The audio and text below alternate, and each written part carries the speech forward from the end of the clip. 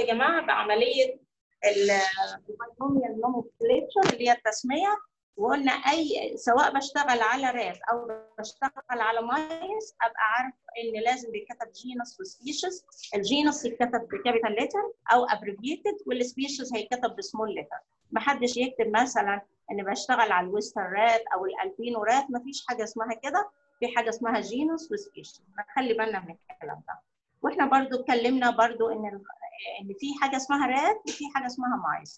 mice يعني فار لكن rat معناها الجرذ وما جينا اتكلمنا برضو عن الماوس قلنا إن هي الحيوانات دي كانت جاية ماشي كده معايا؟ كانت جاية من غرب أوروبا. ده ال Mus domesticus اللي هو كان اللي هو الفار المنزلي. وهو ده اللي ابتدى بقى إيه ينزل بعد كده ويبقى منتشر طبعا في العالم وابتدينا نقول إن هو ابتدى التجارب عليه من نص القرن ال 18 وقلنا المميزات بتاعته وقلنا إيه التجارب اللي هنشتغل فيها لغاية ما ابتدينا على ال inbred وال outbred وأنا قلت للدكتور إبراهيم اتفضل يشرح لنا الحتة بتاعت الاوتريد والانتريد والستوكس والسترينز يعني اتفضل.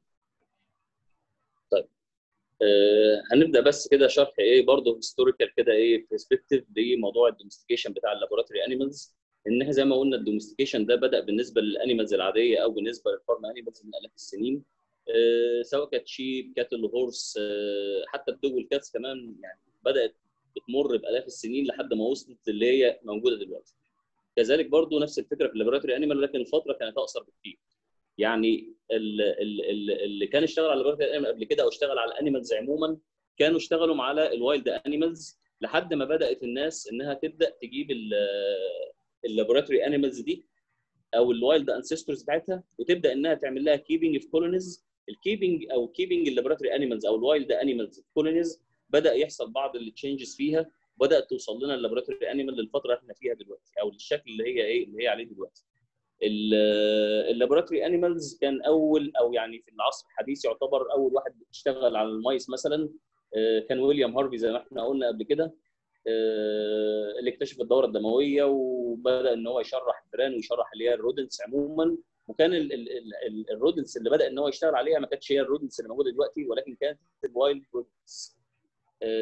في ناس كتير برضو اشتغلوا بعديه منهم مثلا واشهرهم اللي هو مندل عالم الوراثة. إن هو حاول يعمل الشغل بتاعه اللي هو عمله على النباتات والكلام ده كله حاول إن هو يعمله على ال laboratory animals أو على ال rodents ولكن اترفض الشغل ده من المكان اللي كان شغال فيه أو من ال institute اللي كان شغال فيه ويعني كان واحدة من أسبابهم إن الحيوانات دي حيوانات ريحتها وحشة وإنها حيوانات يعني إيه مؤذية والكلام ده ما ينفعش إن إحنا نجيبها في ال institute ونشتغل إيه ونشتغل عليها دلوقتي.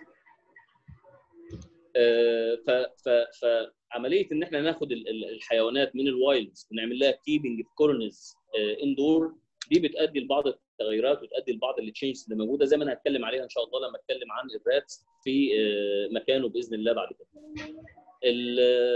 طب أجيب الفئران بتاعتي منين؟ يعني أبدأ أختار الفئران بتاعتي منين؟ في أبحاث كتيرة جدا معمولة على إن في variations كبيرة جدا في ال results اللي أنت ممكن تاخدها في بعض الأبحاث يعني مش في كل الأبحاث لا في بعض الأبحاث. بين مثلا نفس ال species أو نفس ال strain اللي بتيجي مثلا من معمل في مكان معين وبين نفس ال strain اللي بتيجي من معمل تاني أو بتيجي مثلا من شركة ثانية على الرغم إن هم نفس ال strain ونفس ال species ولكن في variability في ال results اللي ممكن تكون موجودة. حتى لو هي موجودة من أو جاية من معمل ثاني أو أنت خدتها من معمل ثاني وده بيحصل برضه في أبحاث كثيره وبنقراها إن يقول لك مثلا مجموعة الفئران دي كانت courtesy أو كانت هدية مثلا من بروفيسور فلان الفلاني أو معمل أو معمل للدكتور فلان الفلاني. لو خدها واشتغل بيها تجربة معينة أو مثلا حاجة معينة ممكن تطلع له result ثانية خالص غير الايه غير الفئران اللي ممكن يجيبها من source ثاني ولذلك يعني يعني ال papers دي بتنصح إن إحنا نبقى cautious جدا أو حريصين جدا وإحنا بنعمل ال interpretation بتاع results معينة وخصوصا في ال results أو في ال research عموما بتاع ال cancer وبتاع الحاجات دي كلها بتكون يعني إيه إلى حد ما بتكون إيه بتكون ممكن يلاقي في variability بين ال results نتيجة لإن ال stocks اللي موجودة ما هي زي بعضيها. على الرغم ما ليكن مثلا أو أو إن الفرده مثلا Wistar من شركة فل... من شركة كذا. أو Wistar من شركة ثانية لا ممكن تلاقي في difference في ال result بينهم من بعض. فدي تعتبر مشكلة بالنسبة للناس اللي هي يعني شغالة في ال field بتاع ال laboratory animals إن أنا أجيب منين؟ يعني أجيب مثلا من ال laboratory animal house اللي موجود في الجامعة عندي ولا أجيب مثلا من شركة ولا أجيب من معمل تاني؟ لا هيبقى إيه؟ يعني في variability شوية في بعض الأبحاث مش في كل الأبحاث اللي موجود فبدأت الناس إنها تشتغل وتبدأ تعمل strains معينة من ال laboratory animals ال strains دي بقسمها لثلاث انواع من الايه أو أو أو أو عموما ال laboratory animal بقسمها لثلاث أنواع. حاجة اسمها ال inbred وحاجة اسمها ال outbred أسف ال inbred وال outbred والثالثه اسمها genetically modified animals طيب إيه هي قصة ال inbred دي بقى؟ ال inbred دي بتكون يعني إيه؟ زي ما بيقولوا كده إيه؟ يعني أنقى سلالات موجودة من الفئران سواء كانت rats أو mice يعني إحنا يعني الدكتورة أمال بدأت مشكوره جزء ال mice ولكن الكلام ده applicable ومطبق في ال rats وال mice إن أنا بقوم جاي في حالة ال inbred individuals أو ال inbred colonies إن أنا بقوم جاي جايب عامل mating بين ال brothers وبين ال sisters لحد الجيل ال 20 أو أكتر من الجيل ال 20 كمان ممكن يوصل ل 30 و40 جيل. طيب ده أنا بعمله ليه؟ هو له advantages وله disadvantages واحدة من ال advantages بتاعتهم إن أنا كده بخلي pure breeds يعني إيه pure breeds أو pure strains يعني مثلا ال individual ده ال genetic أو ال genotypes بتاعته هي هيها ال individual الثاني اللي موجود في نفس ال colony أو موجود في نفس ال strain هي هيها ال individual الثالث هي ال individual الرابع. فبتقلل من ال genetic diversity اللي بين ال individuals وبين بعضهم طب ده scientifically مفيد ليا؟ آه طبعا مفيد ليا جدا. ليه؟ لأنه بيقلل ال variability أو ال variations اللي موجودة بين ال individuals وبين بعضهم طبعا يعني حضراتكم طبعا عارفين إن أنا عندي factors كتيرة. ال factors دي لو لو اتغيرت في, ال في ال experiment يعني يعني دي تبقى إيه؟ confounding factors يعني ال confound factors دي مش هي ال main factor اللي أنا بغيره وأنا بشتغل في ال experiment بتاعتي. confound factor دي مثلا زي إيه؟ فار وزنه زيادة شوية وفار وزنه قليل شوية. فبيوصل الدقة في بعض أنواع الأبحاث ان تبقى ال genotypes بتاع ال individual ده هو هو بتاع ال individual ده هو بتاع ال individual ده. فبالتالي بحافظ أنا على النقاء بتاع السلالة اللي عندي بحالة ال inbred strains دي. طيب. إبراهيم أنا آسفة للمقاطعة مرة ثانية بس هو ال PowerPoint مش ظاهر. آه يا دكتورة ما أنا عارف والله ال PowerPoint لحد دلوقتي لسه بيعمل download ف... فأنا عارف والله يعني يعني معلش طيب. كل ده بعمل بس شرح كده. إيه تمام. تمام أنا بنتقل آسفة. هو في share مش كده؟ هو باين عندكم إن هو ال PowerPoint بي... بيحصل له download مش كده؟ ولا ما فيش share screen لا تمام تمام صح. باين إن هو طيب، بيتعمل له. download تمام. ده بالنسبة لل inbred strains فال inbred strains دي هي أنقى السلالات اللي هي موجودة. طب إحنا قلنا إن في advantage أنا باخدها. طب إيه ال advantage اللي أنا باخدها؟ ال advantage اللي أنا باخدها إن أنا بيبقى عندي identical homozygous individuals يعني إيه؟ يعني بلاقي مثلا ال genotype بتاع ده هو ال genotype بتاع ده. لو أنا جيت على الكروموسوم على arm معين في الكروموسوم على ال locus لرقم كذا اللي موجودة يبقى ده يبقى يبقى يبقى, يبقى ال genes اللي موجودة هنا هي ال genes اللي موجودة في ال individual الثاني ال individual الثالث الرابع وإيه؟ وهكذا في نفس ال strain.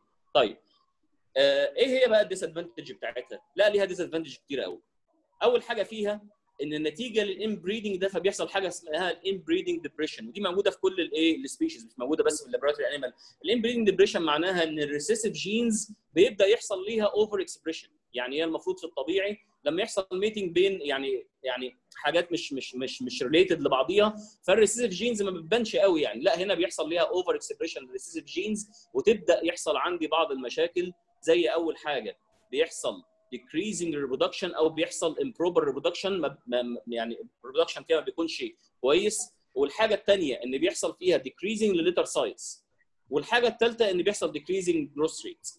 طيب العلماء برضو لقوا إيه؟ لقوا إن يعني على الرغم من نقاء النوعيات دي أو نقاء السلالات دي اللي موجودة ال strains دي اللي موجودة إلا إن هي لا تعبر عن ال human population يعني إيه؟ الطبيعي في ال human population إن أنا ما بقاش أنا copy من واحد تاني copy من واحد تالت copy من واحد رابع. لا ده غلط. يعني ده مش صح.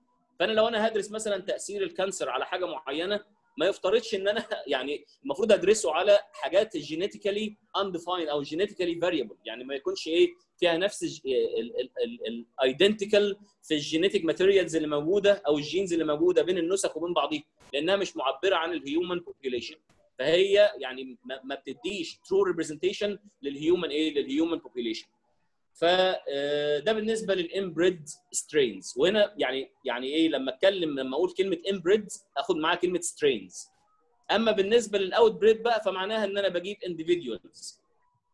معلش ال PowerPoint مش واضح يعني. يعني بس إيه يعني إن شاء الله هوديكم ال slides دي بعد ما أخلص. ال outbred دي معناها إن أنا بجيب بعمل mating أو بعمل cross breeding بين individuals ما هماش يعني genetically identified يعني إيه؟ يعني ممكن ما يكونش مثلا يكونوا آه آه مش related ل each other ممكن يكون في مثلا إيه؟ آه نوع مثلا من معمل ده نوع من المعمل الثاني يعني يعني عموما ال genetic material ما هياش identical بينهم وبين بعضهم طيب الميزة في حاجة زي دي إيه؟ زي ما إحنا قلنا إنها دي representative لل human population يعني تبقى معبرة عن ال human population اللي موجود. الحاجة الثانية لا لاحظوا بقى العكس اللي بيحصل هناك. مفيش inbreeding depression وبرضه عشان أقول لحضراتكم ال inbreeding depression ده في ال inbred strains ما بيكملش لفترات كبيرة. لا ده لحد ال generation الرابع أو الخامس وبعد كده بيخلص بينتهي. يعني هم الناس لقوا كده إن إن مشاكل ال inbreeding depression بتحصل لمدة أربع أو خمسه generations وبعد كده بتنتهي. ما بتظهرش ما بتبقاش واضحة قوي بعد كده.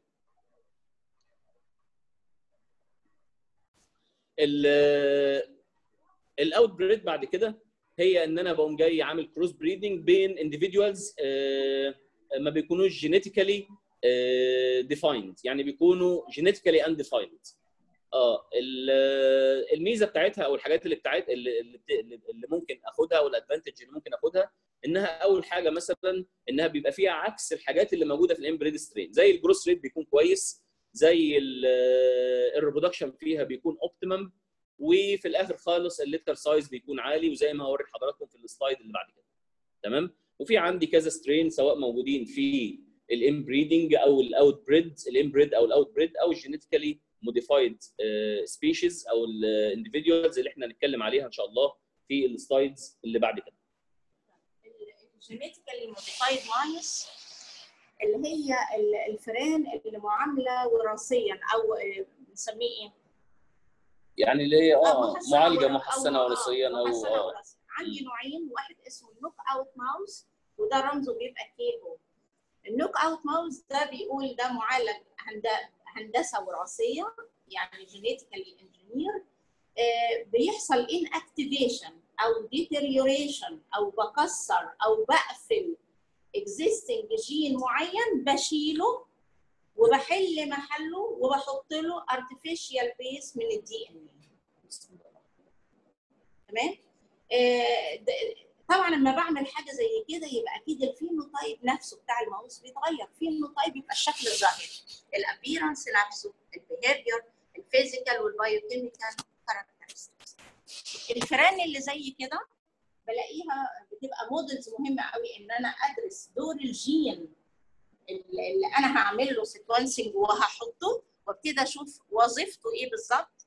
الحاجة الثانية ان برضه هي هيستخدم في التجارب اللي هو ال experimental pathological model يعني أنا مثلا عندي من انواع ال knockout في knockout P53 وإحنا عارفين ان ال 53 جين ده ده طبعا بيكود كود لبروتين معين وهذا البروتين بيعمل suppress لل growth بتاع ال tumor. يعني بيوقف ال cell division يعني بيعمل عملية ال apoptosis يبقى هنا ممكن ألاقي حتى ال knockout ممكن يتسمى على اسم الجين اللي أنا بعمل له knockout أو بقفله أو بعمل له inactivation العملية بالظبط أو ال process دي نفسها اللي بتحصل genetically ال inactivation يعني إبراهيم يشرح بتتعمل إزاي.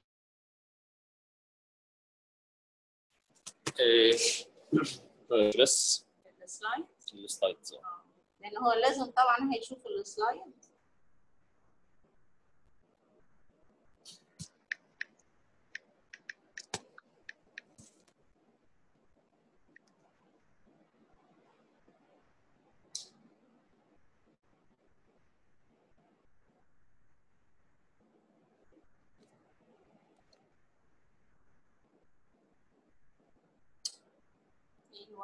أيوه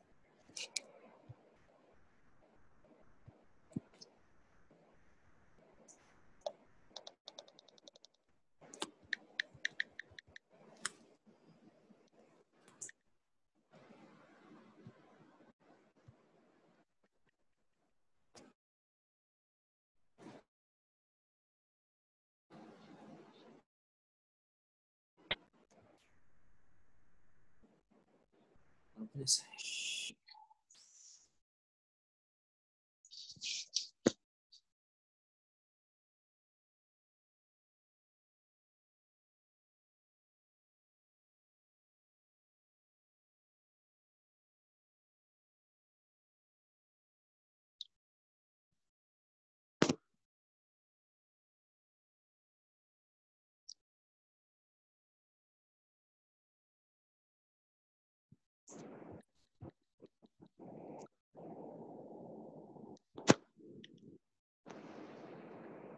اشرحها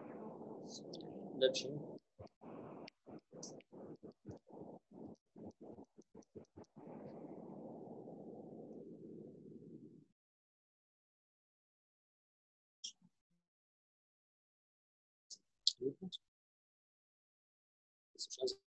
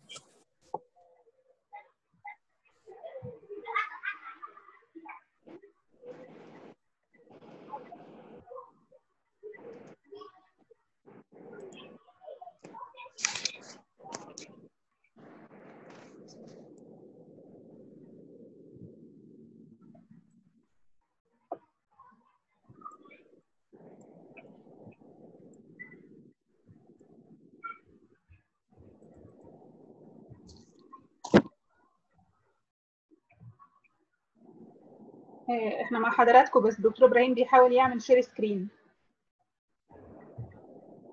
دكتور إبراهيم الدنيا عند حضرتك إيه؟ مش عارفة ليه هو مش بي إحنا برضه رجعنا للجهاز الثاني يعني. تمام يا دكتور إحنا مع حضرتك.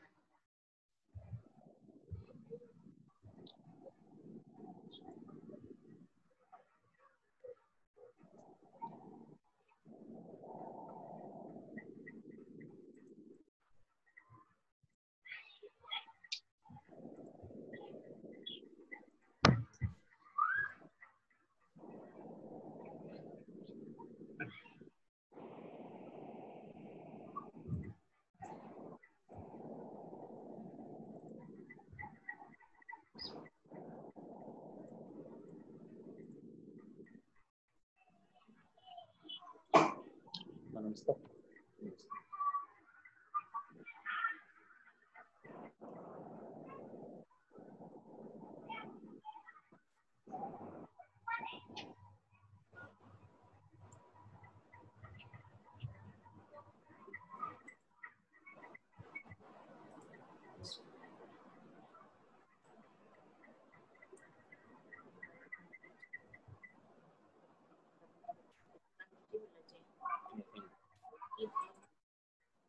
دكتور إبراهيم حضرتك؟ ممكن تبعته لي وأنا اعمل له شير من عندي؟ حاضر يا دكتورة ماشي. ممكن ايميلك يا دكتورة معلش. يا حاضر ماشي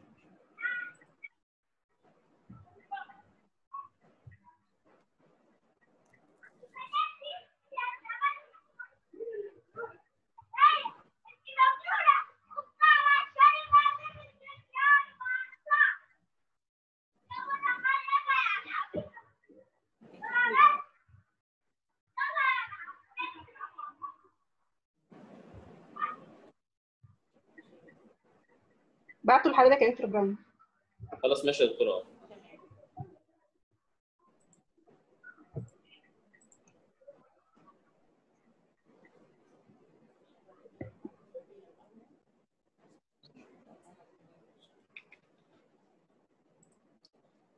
طيب هيعمل ابلود دلوقتي يا دكتورة إن شاء الله هنبعته دلوقتي.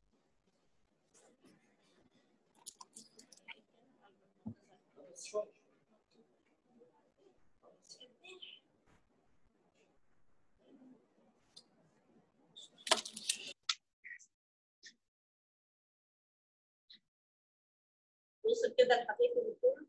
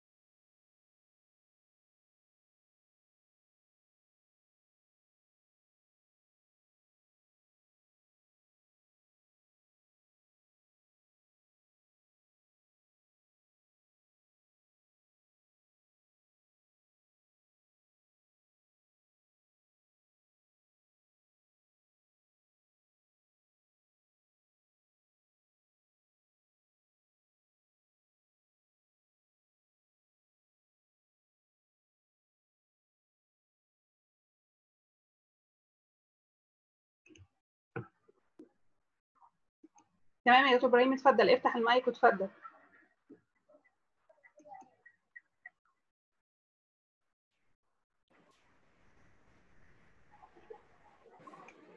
ال slide كده عندك؟ لا خلاص أنا أنا هعمل download يا دكتورة واعمل share. تمام مع حضرتك.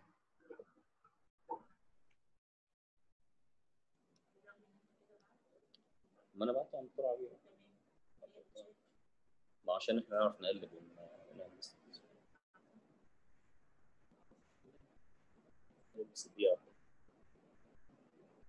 معلش يا جماعة إحنا بنعتذر إحنا مش عارفين إيه والله اللي بيحصل بس معلش يعني. مفيش مشكلة يا دكتور مع حضرتك هو قاعد متضايق جدا على فكرة وأنا زعلانة بس مش عايزة أزعل قوي مفيش مشكلة إن شاء الله مع حضراتكم مع حضراتكم.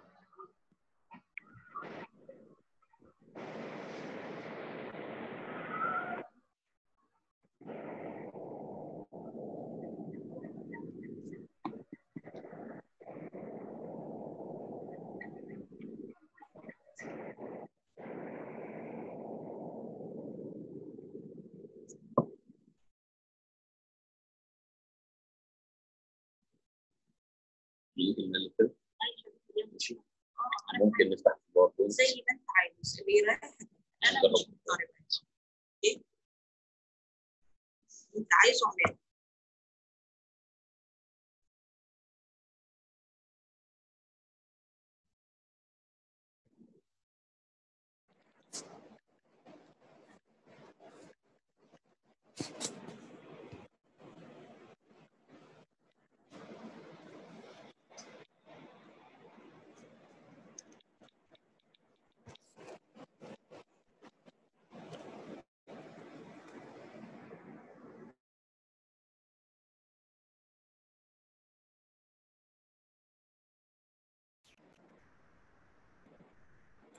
المفروض يفتح دلوقتي؟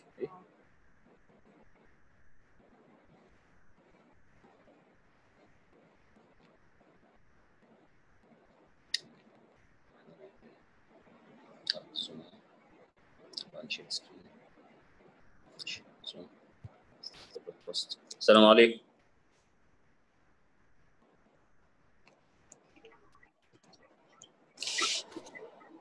تمام يا دكتور إبراهيم تمام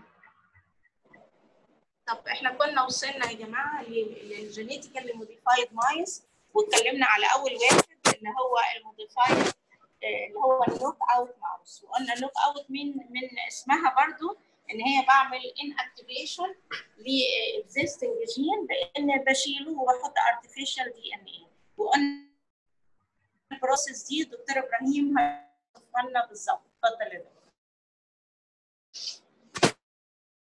بعتذر عليه آه، وإن شاء الله نكمل مع بعض ال session بتاعت النهارده. قلنا بس المقارنة البسيطة اللي بين ال inbred strain وال outbred strain آه، يعني نقولها- نقولها بس آه، كده. إن هنا بيبقوا isogenic strains هنا بيبقوا يعني لا كل individual بيكون different عن الثاني هنا homozygous هنا بيكونوا heterozygous ال- دول genetical stable لا هنا بيحصل في ال outbred strain بيحصل حاجة اسمها genetic drift ممكن تحصل بسرعة كمان لأن ال species اللي موجودين بيكونوا آه، يعني مش مش مش identical أو نسبة ال percentage ال similarity بينهم ما بتكونش 99% زي الايه زي ال inbred آه، بالنسبة لل production بتاع ال genetical modified mice فهو الموضوع بسيط جدا. هو يعني هو عبارة عن insertion ل foreign DNA ال piece بتاعت ال DNA دي في الغالب بيكون sequence أنا عارف ال sequence بتاعه أو DNA sequence أو جين أنا عارف ال sequence بتاعه ولكن ال function بتاعته لحد دلوقتي لسه مش معروف. فهو في نوعين منهم. ممكن أعمل حاجة اسمها knock-in و knockout والاثنين برضو كذلك عشان أعرف ال function وال expression بتاع الجين ده بيتم إزاي. بكل بساطة كده هنشرح مثلا ال knock-in الأول.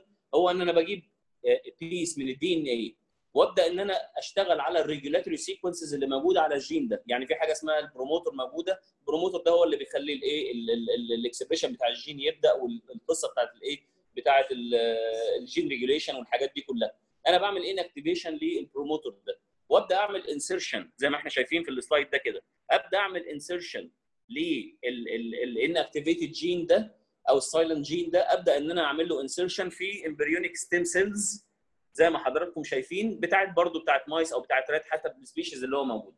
وأبدأ أزرع أو أبدأ أدخله جوه ال stem cells دي عن طريق methods أو تكنيك اسمه electroporation يمكن شوية cloning والكلام إن هو إيه يتابع مع ال techniques اللي موجودة دي أو الشغل اللي موجود ده. طيب. عشان ابدا ان أنا أحط جدا لمدة معينة من الزمن. ولكن الجين ده أنا ببدأ إن أنا أعمل له treatment ب drug معين أو أبدأ إن أنا أعمل له treatment ب fluorescent معينة. ليه؟ لأن أنا عايز أعرف بعد ما أبدأ إن أنا أعمل incubation لل stem cells دي أنهي stem cells خدت الجين ده وأنهي stem cells ما خدتهاش. فأبدأ إن أنا مثلا أحط بعض ال drugs neomycin والكلام ده كله جوه الجين بطريقة كده معينة يعني عاملة زي ال blue white screen في في ال bacterial cells في في ال cloning آه عملية transformation ببدأ إن أنا إيه ببدأ إن أنا أشوف مثلا البكتيريا أو ال cells اللي خدت الجين ببدأ إن أنا آخدها وأعمل لها insertion في ال blastocyst بتاعه آه mice. وبعدين ببدأ إن أنا أدخلها في donor mice أو donor rat بعد كده وتبدأ إنها تعمل لي ال sequence أو تبدأ إنها إيه تدخل لي الموضوع أو تبدأ إنها تعمل لي knock in أو knock in knock in أو knock out إيه أو knock out species فدي ببساطة هي عملية الإيه؟ إن أنا إزاي بعمل knock out أو بعمل knock in طيب ده في الفئران اللي إحنا لكن عندي نوع تاني برضو اللي هو ال nude وال nude من اسمها لا ده خلاص أنا قلت أنا بسمي ال knock out على حسب الجين اللي أنا هشيله. okay؟ زي مثل اللي هي ال knock out P 50 okay طب أنا بدخل بقى في النوع الثاني اللي هو ال nude mouse. أنتوا تمام كده معايا؟ دكتور عبير؟ حضرتك يا دكتور تمام تمام. أه طب بدخل في النوع الثاني برضه من ال genetic ال genetically engineered اللي هو ال nude mouse. ال nude mouse كمان من اسمه؟ ال phenotype بتاعه مهم. ومع هو أو ال hairless أو ال naked mouse يعني معناها إن ما عليهوش شعر الماوس ده برضه genetically mutation حصل له genetic mutation بجين برضه اسمه F O X N 1 ده بيعمل absence أو deterioration لغده ال thymus وإحنا عارفين إن ال thymus مسؤوله عن ال T cell فبالتالي طبعا ال nude mouse ده هقدر أستخدمه في كل الحاجات. اللي هي متعلقة بال inhibition بتاع ال immune system زي اللوكيميا ال solid tumor الايدز ال leprosy and so on برضو ال nude mouse بيدخل في مجموعة من الأبحاث بتبقى بحط graft وال graft ده بيبقى اسمها xenograft أو حاجة اسمها allograft ال allograft يبقى معناها باخد من نفس الفار أو من نفس ال species وبحطه بزرعه أو بيبقى اسمها إيه؟ رقعة. okay ال graft transplantation آه. لكن ال xenograft ده معناه إن أنا باخد من species تاني وببتدي أحطه. فعشان كده أما بعمل ال xenograft ده بيستخدم عشان أعمل new methods for imaging and treating tumors. طيب إحنا كده خلصنا الثلاث أنواع من ال mice واتكلمنا ال inbred وال outbred وال modified أو ال genetically modified. أما ندخل على الحاجة الثانية اللي هنتكلم عليها اللي هي ال rats وبنقول ال rat اللي هو الفار الأسود أو ال ship rat أو ال roof rat. آه ده برضو جالنا من آه جنوب شرق آسيا وابتدى يروح على أوروبا في القرن ال 12 لغاية ما وصل أمريكا في القرن ال 16 وهو كان مسؤول عن انتشار ال black death أو الطاعون وفي القرن ال 14 كان مسؤول عن يعني نفوق ربع السكان الأوروبيين. الحاجات المميزة لل rat إنه طبعا حجمه أكبر من ال mice ممكن يوصل لي ل 300 و 500 جرام كمان. ال rat بالذات بيستحمل فترات طويلة من التجربة تحت ال anesthesia في نفس الوقت لو أنا طول الوقت بعمل له management كويس يبقى هعرف برضه اعمل له handling كويس ال route of administration لكل الأدوية ممكن بستخدم ال intravenous injection وال subcutaneous وال intramuscular وال intraperitoneal and so on في نفس الوقت ممكن أديه عن طريق ال stomach tube أو اللافاج ممكن برضو أما باجي بذبحه أو أما باجي بشرحه أقدر آخد isolated preparation منه بسهولة. أقدر أقدر أعمل identification لل stomach وال fundus.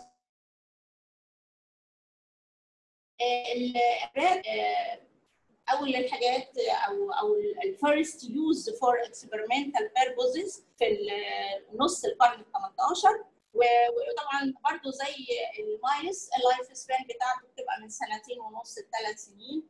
ال weight بتاعه ال male بيبقى ممكن يوصل لنص كيلو.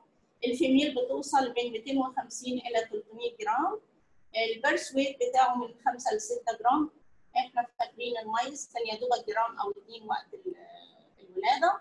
ال heart rate وال respiratory rate كل دي حاجات مسجلة. أنا بيهمني برضو ال paragraph ين اللي تحت دول مهمين جدا. ال rats are generally fed a diet أنا لما باجي أعمل الرشه أو العليقة بتاعت الفئران يا جماعة ما حدش يحط عليقة من نفسه أو يكون عليقة من نفسه.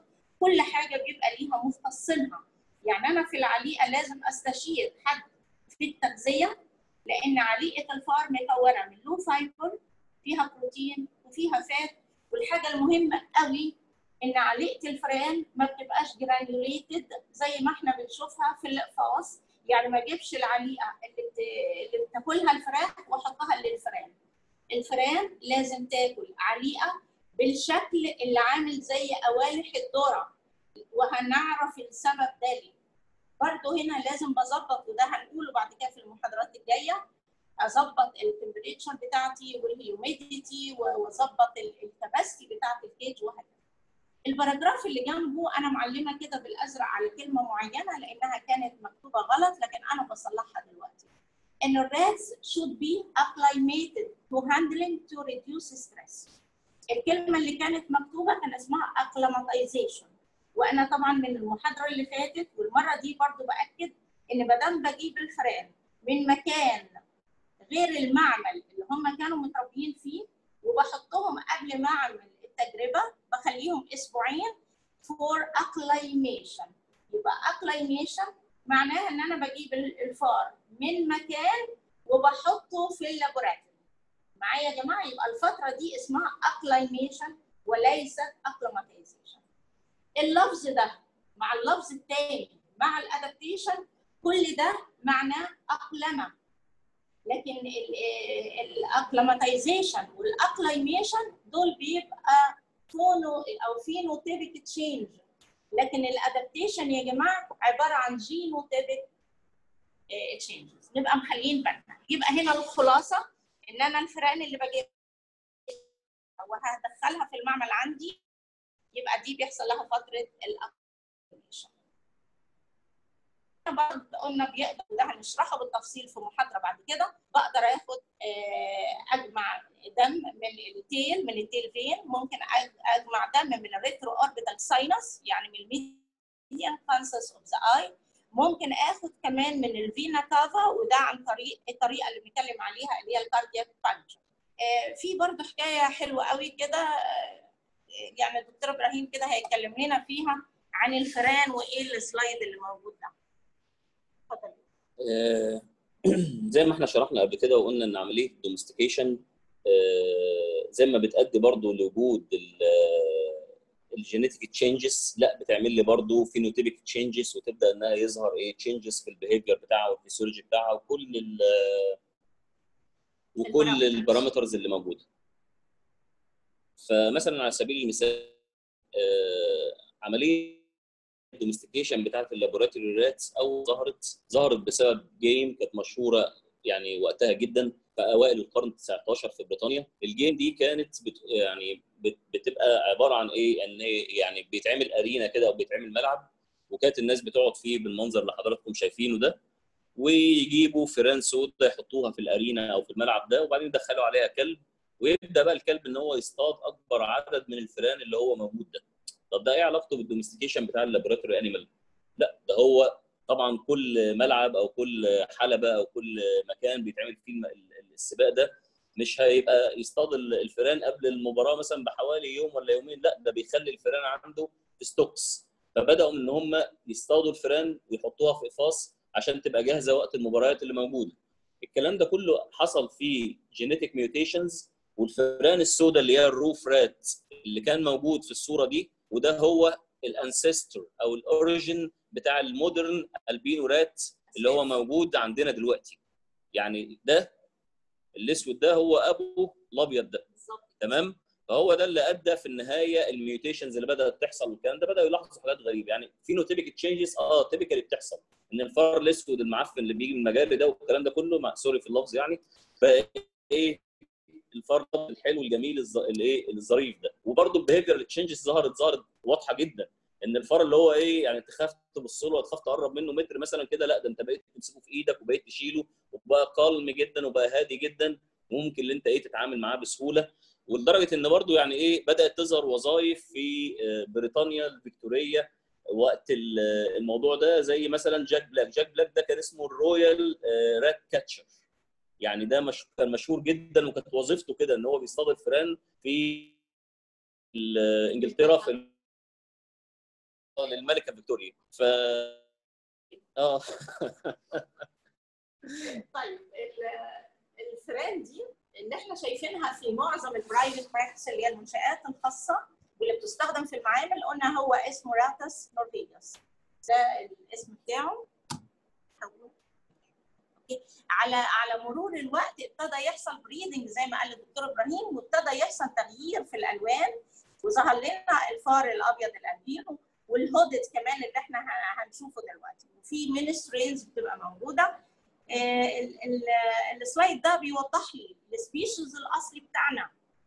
species و genus كان Rattus norvegicus ابتدى يطلع ال albino rats وسميناه أو أو ال albino rat طلع كمان من حاجة اسمها ال Wistar strain وابتدى يطلع strains ثانية Wistar Kyoto rat Sprague Dawley bio breeding Long Evans Zucker rat hairless rat and so on هنمسك أول حاجة ال Wistar rat ال Wistar rat ده strain من ال albino rat كان بينتمي لل species أصلا الأصلي اللي هو Rattus norvegicus وليه هم سموه Wistar. سموه Wistar لأن أول ما عملوا له modification أو develop كان في Wistar Institute ده موجود في أمريكا كان 1906 وابتدوا يشتغلوه ده كان ال first rat strain وده كان ال best model laboratory animal بنستخدمه. واللي كان قبل كده كان اسمه Mus musculus طيب ال Wistar rat قلنا اللي هو ال most popular وابتدى وشكله على فكرة مختلف شوية عن فار تاني اسمه Sprague Dawley ال Wistar rat راسه بتبقى عريضة شوية وودنه طويلة وديله طوله أقل من طول الجسم. لكن ال Sprague ال Dawley مختلف عنه في طول الديل إن الديل بتاعه أطول من الجسم. ال Sprague ال Dawley اللي إحنا بنتكلم عليه وبقول هو multipurpose breed albino rat وبيستخدم في ال medical research. الميزة بتاعته عن ال Wistar إن هو calmness و easy handling يعني يعني كلمة popular يعني قليلة عليه لأ ده هو هادي جدا و social وحاجات كتيرة جدا. وعشان كده معظم الناس بتشتغل على ال Sprague ال Dawley ال adult weight زي ما أنتم شايفينه. آه وبعد كده أنا حاطين برضو مقارنة بين ال Wistar وال Sprague ال Dawley وقلنا الفرق هو الديل. والراس طبعا اللي بتبقى العريضة والودن اللي بتبقى الطويلة. طيب في أنواع ثانية بقى ال nude rat أنا برضو خدت قبل كده ال nude mice نفس ال nude rat برضو ده ابتدوا يعملوا له أو حصل له development في سنة 1979 1980 نتيجة لحصل mating أو تزاوج inbred 8 inbred rat strain وده برضو زي ال nude mice يعني برضو athymic nude rat athymic يعني ما عندوش غدة ال thymus لكن حصل لها deterioration أو absence وبالتالي مش هيبقى عندي ال mature T cell وده بيبقى الفار اللي زي ده بيبقى بدرس أو بينفعني لل mechanism of tumor growth أو ال graft rejection زي ما إحنا قلنا قبل كده سواء كانت allograft أو xenograft في برضو فار تاني اسمه Long Evans rat sorry برضو كلمة فار لا هو جرزان ها ال Long Evans ليه سموه كده؟ هو طبعا بينتمي لل Rattus norvegicus برضه بس اللي عمل له development اثنين من العلماء، واحد اسمه دكتور Long ودكتور Evans. دول سنة 1915 عملوا crossing لل Wistar female rat مع wild grey male. وابتدى ال Long Evans، ال Long Evans بتلاقيه ابيض وشعره الثمانيه يا إما ال hood اللي لونه أسود يا إما ال hood اللي لونه بني. الفار اللي زي كده بيستخدم في الحاجات اللي بدرس فيها ال behavior وال obesity research. اللي عايز يشتغل على ال obesity ممكن يشتغل على ال Long Evans. طب ممكن أشتغله على حاجة ثانية آه على فار ثاني أهو اسمه Zucker rat ال Zucker rat برضو ده من الفريان اللي بستخدمه عشان ابحاثنا تبقى على ال obesity أو ال hypertension. في نوعين من ال Zucker rat نوع اسمه lean Zucker و obese fat obese. ال Zucker ال lean معناه اللي هو الرفيع القليل اللي وزنه ممكن يوصل لنص كيلو. لكن ال obese يا جماعة ده وزنه ممكن يوصل لكيلو. طب ليه هو يعني كبير قوي كده؟ كبير لأن كمية ال fat cell حجمها كبير والعدد بتاع ال fat cell كتير وعشان كده لو جيت سحبت عينة دم وقست طبعا ال lipids سواء كانت total lipids أو كوليسترول أو أي حاجة كل ال lipid profile هلاقيها عالية جدا. طبعا هو ليه تخين وليه كبير لأن طبعا عنده hyperphagia يعني إن هو بياكل كتير يعني بيبقى فيه excessive hunger. طيب في فار تاني اسمه RCS بتسمي على اسم Royal College of Surgeons يبقى ده برضو من الحاجات اللي يعني حصل لها development وده برضو عنده inherited retinal degeneration. يعني عنده genetic defect في ال pigmentation نفسه بتاع ال retina طيب برضو هنا ال rats نفس الأنواع hairless rat برضو زي ما قلنا في hairless mice في hairless rat منهم ثلاثة ال Rowett nudes اللي ده ما فيهوش الساينس وإحنا اتفقنا عليه قبل كده وفي ال fuzzy rat وال fuzzy rat ده بيموت بعد كده من progressive kidney failure في كمان ال shorn rat وده جاي من ال Sprague Dawley وده كان يعني يعتبر أحدث واحد لأنه كان يعني حصل له developing أو breeding سنة 1998 وده برضو أما بيموت بيموت نتيجة لل severe kidney problem دي دي ال strain بتاعت ال rats. مش دول بس ده في كتير جدا. بس دي بعض الصور اللي إحنا يعني تحسنا عنها هندخل بقى بعد كده في جزء ال biology. وال biology بنتكلم فيه على حاجتين مهمين جدا.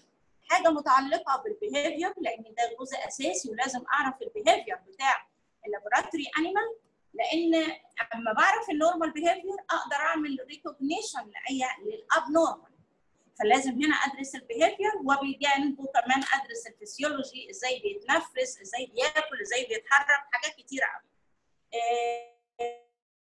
ال wild rat بيبقى social animal ال animals يعني معناها إنهم عايشين وعشان كده بحط في القفص خمسة ستة 10 على حسب حجم القفص وبيعملوا حاجة اسمها simple dominance hierarchy اللي إحنا بنسميه النظام الهيكلي أو كده. يعني بيبقى في حد dominant وفي حد subdominant وأنا أعتقد ما دام وصلنا ل dominant و subdominant أو subordinate يبقى أعتقد الدكتور إبراهيم بيتكلم في الموضوع ده. شكرا دكتوره أمال. زي ما الدكتورة أمال تكرمت وقالت إن إن ال rodents عموما أو مش ال rodents ال laboratory rats أو وال laboratory mice دول عبارة عن social animals ال social animals يعني المفروض بيعيشوا في groups هماش solitary individuals ده ما يعني معناه إن أنا ما ينفعش أحط فار لوحده في قفص وإلا يحصل فيه ال isolation stress ويبدأ إن هو يغير لي التجربة بتاعته يبدا ال parameters بتاعته والفسيولوجي بتاعه وال behavior بتاعه يتغير. الفئران اللي عندي في التجربة لازم تعيش. اللهم إلا لو التجربة اللي عندي ان أنا اعزل فار أو اخلي فار لوحده حاجة فبالتالي دي تبقى إيه؟ يعني تبقى حاجة على حساب إيه؟ على حساب حاجة. بيتعمل حاجة عندي اسمها dominance hierarchy، ال dominance hierarchy ده ان بيبقى عندي فيه 1 dominant male في 1 territory، يعني في في بعض ال rodent species على عكس الفئران خالص وعلى عكس ال laboratory rats وال mice انها بتبقى solitary، solitary دي معناها ان انت مثلا لو آه بيعيش في منطقه لوحده في المنطقة اللي, هو فيها من غير male ومن غير female ده ال solitary individual لو قابل male أو قابل female هيموتوا بعض. وفعلا حرفيا بيحصل fighting severe fighting والحيوانات دي تبقى أسنانها يعني قوية وأنيابها قوية فممكن لو قابل male أو female يموتوا بعض. إنما بالنسبة لل laboratory rats و mice لأ ممكن واحد male يعيش في territory معينة ويعيش معاه ساعتها بقى وقتها ما يبقاش dominant لا يبقى submissive يعني معنى ال social animals إن أنا ممكن أعيش في group ولكن بيبقى فيها ال hierarchy اللي الدكتوره شرحته وتكرمت بيه. إن أنا بيبقى عندي عندي submissive و submissive alpha beta وحاجات من اللي هي الإيه؟ اللي هي الترتيبات معينة في ال hierarchy إنما ال solitary individual ده لأن يعني ده, ده بيبقى لا هو animal واحد لوحده عايش في territory لوحده. فال establish بتاع بتاع بتاع ال hierarchy ده بيعتمد في في في البداية أو بيعتمد mainly على ال odors أو ال pheromones اللي موجودة في ال cage اللي موجود. ولذلك ما ينفعش إن أنا كل يوم اغير القفص. لا دي مش اغير ال cage اسف ال bedding بتاعته. ده مش نظافة. لا يعني يعني at least once weekly يعني يعني أو آسف maximum once weekly يعني ما غيرش أكتر من مرة واحدة في الأسبوع أو مرة مثلا كل أربع خمس أيام. ليه؟ لأن أو مرتين ما فيش مشكلة مرتين ما فيش مشكلة. الغرض من ده إيه؟ إن أنت عشان يتعمل لك ال hierarchy اللي موجود وال establishment اللي موجودة دي ده بيعتمد على ال pheromones يعتمد على روائح معينة موجودة جوه القفص وعلى deposition ل urine أو feces أو pheromones معينة جوه القفص ده. طب سيادتك لما كل يوم تغير القفص يبقى كل يوم الفيران دي داخله على حاجة جديدة ما هماش عارفين بعض مش عارفين مين ال dominant ومين ال submissive هيتخانقوا مع بعض تاني ويعملوا لي مشاكل تاني. يبقى أنت كل يوم إيه؟ آه بي بي يعني هو نسي خلاص هو إيه؟ مش عارف مين ال dominant ومين ال submissive والكلام ده هيبدأ إن هو يتعمل كل يوم آه hierarchy جديد. لا أنا على قد ما أقدر بحافظ على ال hierarchy ده وبقلل ال fighting اللي بيحصل وال aggression إن أنا مثلا وليكن يعني في في بعض الأبحاث بتقول إيه؟ once weekly وأبحاث ثانية تلاقي إيه؟ twice per week وأبحاث ثانية تلاقي بتقول if necessary يعني مثلا المية اتدلقت جوه القفص الكيدج اتوسخ قوي الكلام ده كله. ولكن هو مرتين في الأسبوع هيبقى معقول قوي يبقى إيه؟ ويبقى كويس قوي. ال females برضو بتعمل hierarchy بينها وبين بعضيها ولكن مش مسيطرة قوي زي الايه زي ال males فيعني بيبقى حاجة اسمها loose hierarchy يعني ما يبقاش واضح قوي وايه و clear قوي زي الايه زي ال males نقطة ثانية يعني أحب أشرحها نقطة الايه؟ ال rat وال mice هل ينفع ان وربس جوه أوضة لوحدها جوه room في معمل مثلا يعني زي ما للأسف إحنا بنعمل كده أو بنضطر نعمل كده علشان دي الأماكن ومفيش حاجة إيه مخصصة laboratory animal house والكلام ده. ولكن هل ده علميا صحيح؟ لا طبعا ده يعني ده غلط جدا. لأن المفروض إن ال mice بيعتبر ال rat ده predator بالنسبة له. بياكل ال mice بياكل ال mice وممكن ياكل ال offsprings بتاعت دي حاجات بقى إيه يعني زي ما بيقولوا كده من ال evolutionary history يعني من الايه من ال من حاجة من اللي هي الايه من من ال ancestors يعني الرغم إن هم خلاص دلوقتي بقوا domesticated وبقوا ممكن مثلا ما فيش أي إيه competition بينهم أو أي مشاكل بينهم أو أي fighting بينهم لأ ده بالعكس دي حاجات موجودة إن الرات زي بالظبط كده الكات تعتبر بريدتور بالنسبة للرات والمايس برضه نفس الفكرة ال mice بيعتبر ال rat predator بالنسبة له. فكونك تحط rat و mice في نفس ال room أو في نفس ال laboratory يعني ال laboratory house مفيش مشكلة ممكن two different rooms مش مشكلة. وهم يعني ventilated وكويس وكويس في نفس ال room مع بعض ما يتحطش mice و rat مع بعض لأن هو اللي بيبقى predator بالنسبة له وبيبدأ يحصل fear وممكن يخاف منه حتى لو هو قفص لوحده. بس مجرد ريحة ال rat لوحدها دي بتعمل provocation أو بتعمل provoke لل fear response فهتغير لك الفسيولوجي وتغير لك ال behavior يعني واحد متوقع إن هو إيه حد هيهجم عليه في أي وقت وياكله ما بيحصلش فيها habituation دي لأن ال predator ال predator sense صعب إن يحصل لها habituation الظاهرة دي بيبقى اسمها الايه؟ ال muricide وعموما ال laboratory rats و mice أو ال rodents عموما بتتميز بال poor eyesight يعني نظرها إيه على قدها. ولكن على الرغم من كده بتتميز بال very strong olfactory ولذلك الروايح مهمة جدا بالنسبة لها حياتها كلها في الروايح وفي ال في, في ال sense في smell وال touch وبرده الايه؟ ال auditory ممكن تسمع ultrasound وتسمع الايه؟ الأصوات العادية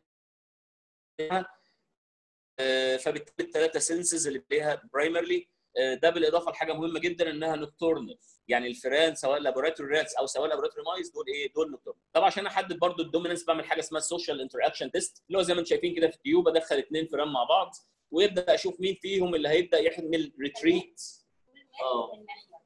يعني كل واحد من ناحية زي ما الدكتوره أمل بتقول كده كل واحد من ناحية مثلا واحد من من الطرف ده من ال tube والطرف الثاني وأبدأ أشوف مين فيهم اللي هيعمل retreat وممكن ببساطة جدا إن أنا بجيب كاميرا وأحطها فوق ال cage وأبدأ أعمل حاجة اسمها ال dominance hierarchy زي ما أنتم حضراتكم شايفين كده. إن أنا مثلا عندي انديفيدوال A وبي وسي ودي واي وبي وسي ودي طب ده ده لما يقابل ده كم مرة هيعمل defensive وكم مرة هيعمل إيه؟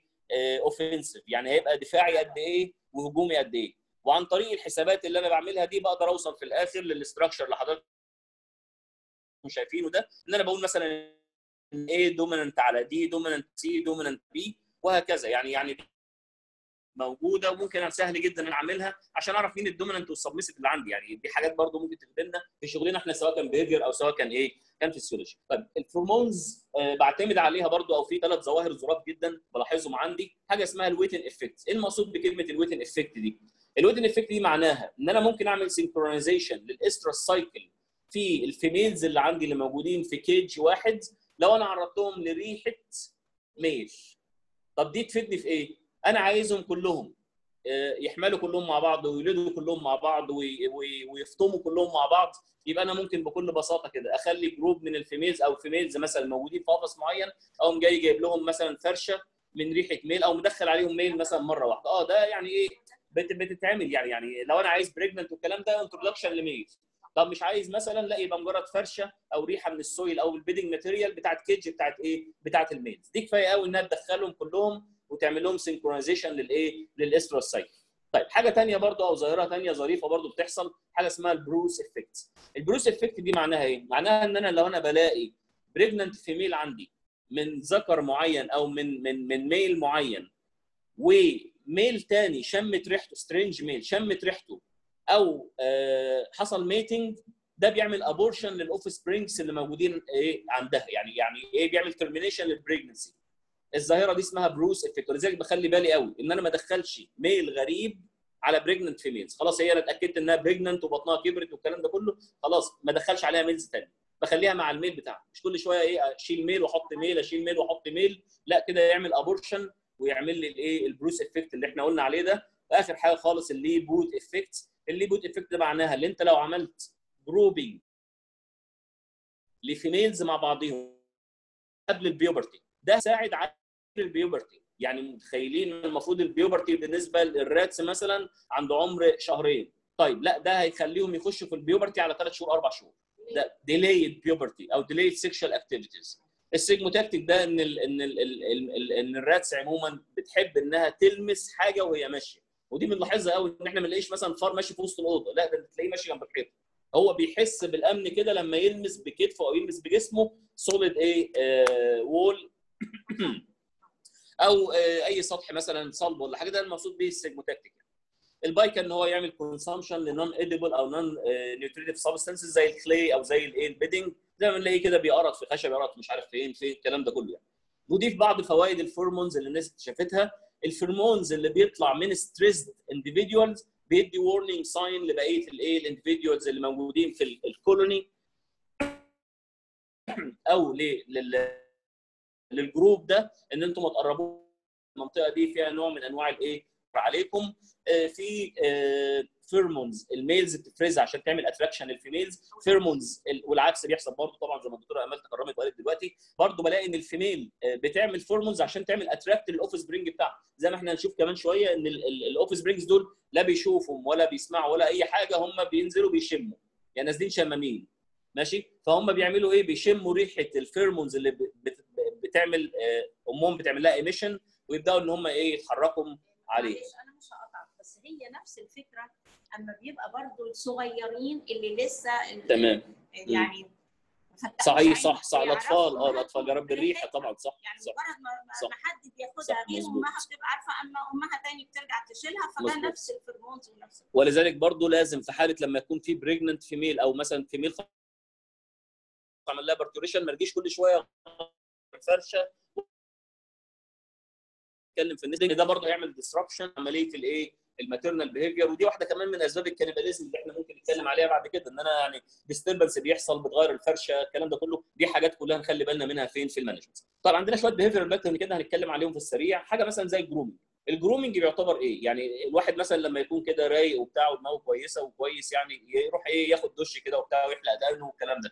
طب لو هو ما بياخدش باله من نفسه قوي ده إيه؟ يبقى فيه stress عليه أو إن هو مشغول في في حاجة أو إن فيه depression فبرضه يعتبر ال grooming كده بالنسبة لبعض الحيوانات أو بعض ال laboratory animal ولكن على العكس من كده تمام. لا ده ال grooming ساعات بيعتبر نوع أو أو sign إن الحيوان ده تحت severe stress فبالتالي آه لا لا لو لو عملوا بزيادة. لو عملوا بزيادة أيوه لو عملوا بزيادة. ولذلك ال behavior ده بالذات بيتسمى bidirection يعني إيه bidirectional يعني إيه؟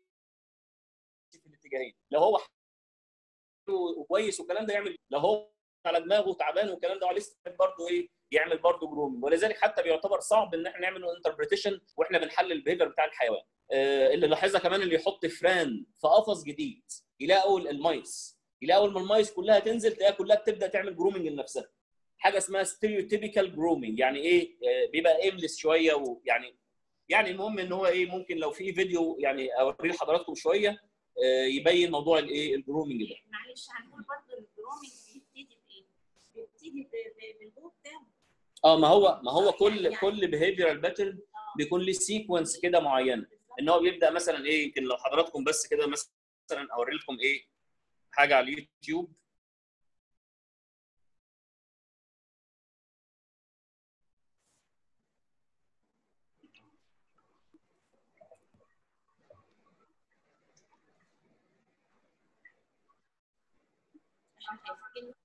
ما انا لا هندخل ان شاء الله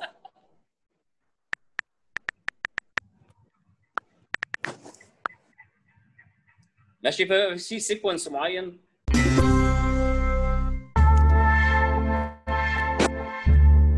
So rats are concerned about if somebody is find that their nails show it's cutting off if somebody is لا may or may معلش not مش هقدر tolerate أوريك. brushing but at least it's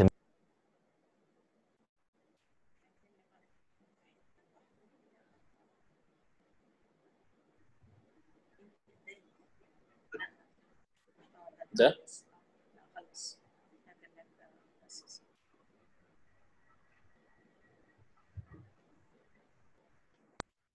Let's try it. Take one. One, two, three. آه يعني هو Well, I ده stepped out السيكونس to, بتاع I was الجرومينج. taking a bath. Long about a Saturday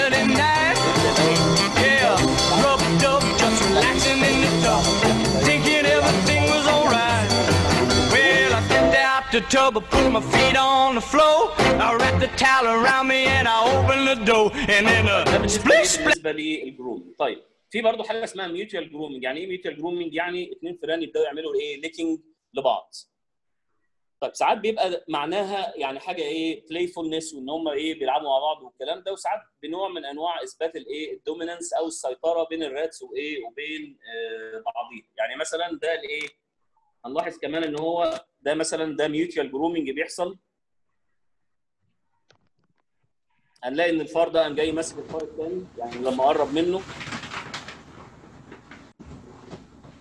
آه بدأ إن هو إيه التفت وبدأ إن هو يمسكه وإيه ويعمل فيه grooming بالمنظر اللي أنتم شايفينه ده بيوصل ساعات ال grooming أو ال severity بتاعت ال grooming إن هو ممكن يسيب الحتة دي آه، قرعة. يعني ما بقاش إيه ما عليهاش شعر ولا عليها أي حاجة. ماشي؟ بيبقى يعني إيه؟ ده نوع من أنواع ال dominance أو إثبات ال dominance على الايه على ال submissive individual اللي هو موجود. لو فضلنا كده لحد الآخر ممكن إيه؟ يشيل له شعره كله.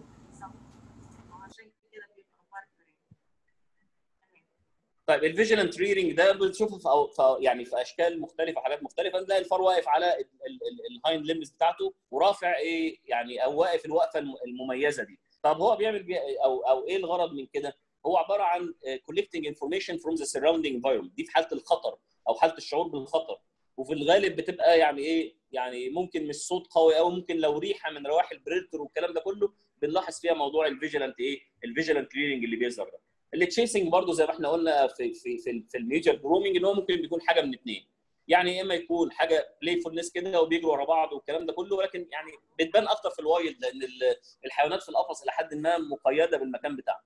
أو إن هو كنوع من أنواع الإيه بيعمل chasing ل male تاني عشان يطلعه من ال territory بتاعته. يعني لما يلاقي إن male تاني دخل ال territory بتاعته يبدأ إن هو إيه يطلعه أو يطرده بره ال territory وال chasing دايما بينتهي إن واحد منهم بيجري بره ال territory بتاعته والتاني إيه بيطرده بره المنطقة اللي دخل فيها بالغلط آه بس في فرق بين تمام. chasing.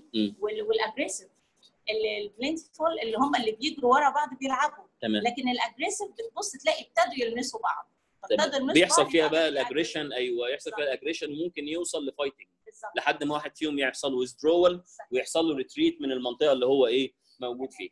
طيب wagging the tail معناها حركة الديل يمين وشمال ودي في ال dogs أو في بعض ال species دي معناها إن هو إيه happy وإن هو فرحان والكلام ده كله. ولكن في ال rat هنا لا ال rat أو ال mice أو ال rodents عموما معناها annoyance وإن هو بيبقى منزعج وفي stress ويبقى إن هو ممكن يخش في إيه في aggression أو fighting مع إيه مع male تاني. ودي منظر اللي هو الإيه السنة الصينية. عندهم سنة اسمها سنة الـ rat. آه الـ burrowing بقى دي نقطة مهمة جدا بالنسبة للـ rodents للأسف للأسف إحنا ما بنعملش cage enrichment وما بنوفرش الاحتياجات بتاعت الـ laboratory rodents اللي موجودة عندنا. آه الـ burrow دي حاجة أساسية موجودة في الـ rodents الـ rodent بيعرف يبدا إن هو يولد في الـ tunnel ده حتى لو مش هيولد حتى لو مش في female حتى لو male يبدا ان يستخبى جواه. فدي واحدة من الحاجات الـ necessary behaviors اللي هو المفروض إن هو بيعملها. طب أنا عملت له الفرشة بتاعته نشاره خشب ولا بتاع مش هيعرف يحفر فيها لأنها كلها سمكها 5 سم أو 3 سم. يعني حاجة بسيطة كده فرشة رقيقة موجودة فين؟ في القفص. فيفضل إن أنا بقوم جاي جايب له أنبوبة من البلاستيك أو أنبوبة من اللي هي الإيه؟ الـ roll ة بتاعت آه المواسير أو بتاعت الـ roll بتاع الإيه؟ البلاستيك والحاجات دي. آه. حطها جوه القطاعه كده حتت صغيرة بس جواها عشان يحس بس بال إنها إيه إنها يعني إن هو بالظبط ده الـ normal habitat بتاعته وإن هو ممكن إيه يعني دي حاجة من أنواع الـ cage enrichment اللي اتكلمنا عنها المرة اللي فاتت. وهنتكلم عليها تاني إن شاء الله زي ما الدكتور عمال بتقول في المحاضرة بإذن الله الجاية أو الـ session الجاي طب الـ nocturnal activity طب الفئران بتظهر بالليل ولا بالنهار ولا في أي وقت؟ لا بتظهر بالليل. الفئران nocturnal يعني الـ laboratory rodents rats حتى الـ wild بتاعهم كله nocturnal ليه؟ الفئران دي بلاحظ إنها الـ peak بتاع الـ activities بتاعتها بيظهر around dawn يعني as dusk around dusk يعني عند الايه الـ evening كده. يبدأ يحصل الـ peak بتاعت الـ activities بتاعتها. ودي بتوقعنا في مشكلة ثانية وإحنا شغالين. اي الـ dusk اللي هو الغسق. الـ dawn اللي هو تقريبا الفجر آه الغسق آه الغسق اللي هو مش الـ dusk ده اللي هو الفترة في الـ evening ولا فترة أيوه يعني؟ ما هي آه هي تقريبا الفترة دي آه. فهي ال ال ال دي بتوقعنا في مشكلة بقى وإحنا شغالين برضو في الشغل بتاعنا. إحنا بنشتغل الشغل بتاعنا بالنهار والفيران نايمة. يعني دي مصيبة يعني أنا أنا باخد result غلط وياما ناس اشتغلت غلط وياما ناس طلعت. ال- في الضوء الخافت آه. عشان أقدر أشوف والله حتى لو الضوء الخافت برضه يفضل إن إحنا نعمل حاجة ثانية إن إحنا نعمل light dark system وتبقى reversed light dark system يعني إيه؟ أقلب له نهار وليل وليل ونهار يعني يا إما أنا أجي الكلية بالليل أشتغل ماشي وأنام جنبه وأشتغل عليه بالليل يا إما أنا يعني أشتغل أعمل له reversed light dark cycle الـ reversed light dark cycle دي إن أنا مثلا الليل يبدأ أو الإظلام يبدأ من 8 الصبح ل 8 بالليل والنهار العكس. يبقى أنا كده إيه بخليه إن هو يشتغل أو يصحى بالنهار. طب أنا كمان هزود آه اتفضلي يا دكتور. عشان هو nocturnal activity أما بيجي عندنا ال- الـ female rats أما بتبقى جاية in estrus cycle و estrus cycle يعني الـ phase اللي هتبقى فيها in estrus يبقى هسميها estrus period نفسها. إيه، اللي هسميها كمان proestrus ساعة ما بلاقي الفار في proestrus بعمل لها isolation عن الم... عن الهيراركي بتاعها والمجموعة بتاعتها وبحطها في cage وبدخل عليها الـ male. وعمر الـ male ما هيعمل الـ mating غير بيبقى بالليل. وعشان كده هي دي من ضمن الـ activity فلما بصبح تاني يوم الصبح وباخد الفاجينال سمير ببتدي من خلالها أو أما أشوف الـ mucus plug أقول ده حصل mating أنا مش هشوف الـ mating لأنه طبعا بيبقى. تمام، شكرا. دكتور. فدي فدي برضو حاجة من الحاجات اللي لازم إيه نخلي بالنا منها إن إحنا لازم نعمل موضوع الـ reversed light dark cycle أبحاث كتيرة قوي قالت إن الـ parameters اللي بتتاخد في الـ light cycle غير الـ dark cycle يعني بالظبط كده كأن واحد نايم وخدت منه مثلا عينة دم وواحد صاحي خدت منه عينة دم. خد بقى عندك فيسيولوجي وعندك biochemistry وعندك behavior كمان يعني حتى الشغل بتاع الـ behavior أنا ما ينفعش أشتغل على حاجة والح... وال- والحيوان نايم يعني يعني ما ينفعش إن أنا أشتغل على الفار وهو نايم. فيعني دي حاجات بنخلي بالنا منها موضوع الـ light dark cycle اللي موجود. الـ wiggling whisker دي إن هو بيحرك إيه؟ شنباته. حاجة اسمها vibrissae الـ vibrissae دي يعني دي مش شعر عادي لا ده دي حاجة عاملة يعني إيه؟ يعني شعر برضو و hairs وكل حاجة ولكن ولكن مثلا twice thickness بتاع الـ hair العادي دي أول حاجة. الحاجة الثانية متوصلة وليها nerve ending rich في الـ nerve supply بتاعها ومتوصلة أو ليها connection بالـ somatosensory cortex في الـ brain فبالتالي هي بتعتبر ايديه اللي بيشوف بيه؟ هو مش شايف بعينيه. هي ايديه ده اللي بيشوف بيه؟ ولذلك يعني أبحاث كثيره على موضوع إن أنت تقص الـ vibrissae دي وتعملها unilateral أو تعملها bilateral وتقص مثلا الجنب ده وما تقصش الجنب ده ابحاث كثيره معمولة إيه؟ معمولة عليه. دي بتقيس إيه؟ بتقيس حتى وصلت للـ air pressure يعني ضغط الهواء اللي اللي واصل له دي ممكن تحس بيها وت- إيه؟ اتجاه الهواء. حاجات كتيرة جدا الـ vibrissae دي إيه؟ بتعملها وأبحاث زي ما أنتم شايفين إنها إيه؟ هي يعني أرقام ومش عارف إيه والكلام ده كله موجودة. آه، وده الـ thickness بتاعها أو الـ diameter بتاعها اللي هو موجود فبيكون الـ diameter بتاعها إيه؟ مش عادي الـ nest building برضو دي الحاجات اللي إحنا معظمنا يعني عارفها ومفيش داعي نتكلم عنها كتير إن طبعا لو في pregnant female لازم أوفر لها building materials أو nesting material موجودة جوه الإيه؟ جوه ال cage عشان تقدر إنها آه، تعمل building لل nest وإلا هتسيب عيالها كده في الطل وتاكلهم بعد كده ولا يحصل لهم حاجة ولا يبقى لازم ال nest building ده موجود. يعني ده ده behavior موجود ولازم أوفر له ال materials إيه؟ بتاعته. وده وده برضه sign مهم قوي أما بتبقى ال pregnant imminent imminent parturition صح صح صح. قبليها بيوم قبليها بيومين مظبوط يا دكتوره صح. بعمل كده آه. أبتدي بقى ارمي لها ورق كلينكس ارمي لها نشاره خشب يعني كتيرة. تمام. هو يفضل أنا من رأيي والله يعني حضرتك توافقيني في ده أو يعني يعني أو حاجة إن أنت إيه لا لا لا لا إن أنا مثلا ال pregnant female يفضل قبل ال parturition على طول أعزل أعزل آه أعزل. لأن أنا ما أضمنش اللي جوه التانيين هيعملوا إيه. كمان لأن أنا لما بحدد ال first. day of pregnancy خلاص هبقى عارفة إن صحيح، دي مثلا صح. 21 يوم أو 20 أو 19 هبتدي أعزل وده معروف. ده غير بقى behavior problem اللي بتحصل ال cannibalism اللي بيحصل ال stealing اللي بيحصل لل pups واحدة يعني يعني يعني female تانية مثلا تاخد عيالها مش عارف يختلطوا على بعض بتاع. الكلام ده كله يفضل إن أنا ال female قبل زي ما أستاذ الدكتوره أمال قالت قبل ال parturition أعزل. أعزل بقى في إيه؟ في في في, في nest box كويس كده في ال materials ومجهز والكلام ده كله. ال ears up وال ears down دي هي عبارة عن إيه؟ يعني وصلت إنها ال facial expression نفسها بتاعه ال rodents أنا ممكن أحللها. يعني ممكن أعرف مثلا لما المسافة بين الودان وبعضيها بتوسع لا يبقى كده ده indicator لل stress طب المسافة بتضيق طب بين الودن وبين العين. وأبحاث كتيرة موجودة معمولة على الكلام ده على ال positive emotions اللي موجودة في ال rodents. يعني في ناس شغلها على كده إن أنا أحلل ال emotions وبالغالب بتوع ال behavior وبتوع ال pharmacology اللي هي ال drugs اللي بتأثر على ال CNS والكلام ده كله بتعمل depression بنستخدم فيها الايه؟ ال softwares اللي موجودة دي. ال teeth grinding بقى يعني إيه؟ يعني أنا يعني هطلب من الدكتوره أمال إنها يعني إيه لو كده بعد إذنها. آه. إيه يعني إحنا هنبص كمان هم يعني برضه هقول بتوع ال behavior ال dentition نفسه يا جماعة. أنتوا هتبصوا هنا هتلاقوا إيه، دول incisor واحد في الجنب ده واحد هنا. يعني الاثنين اللي موجودين كأني أسمى الفك كده نصين. مظبوط كده؟ واحد الناحية دي وواحد الناحية دي ومن فوق برضه واحد من الناحية دي وواحد من. طب باقي اللي جوه إيه؟ باقي اللي جوه فاضي وبعدين ألاقي ثلاثة molar طب هي الأنياب دي طويلة ليه كده؟ هي ال mouse teeth is continuously grow بتكبر على طول عشان كده لازم الفار بيعمل حاجة اسمها grinding يعني بيبرد سنانه طب يا ترى هيبردها إزاي؟ هيبردها بنوعية الأكل اللي أنا قلته قبل كده نوعية الأكل ما تبقاش يا جماعة ال- ال- العليقة اللي هي الناعمة. ده لازم العليقة اللي بتبقى اللي عاملة زي كوز الذرة.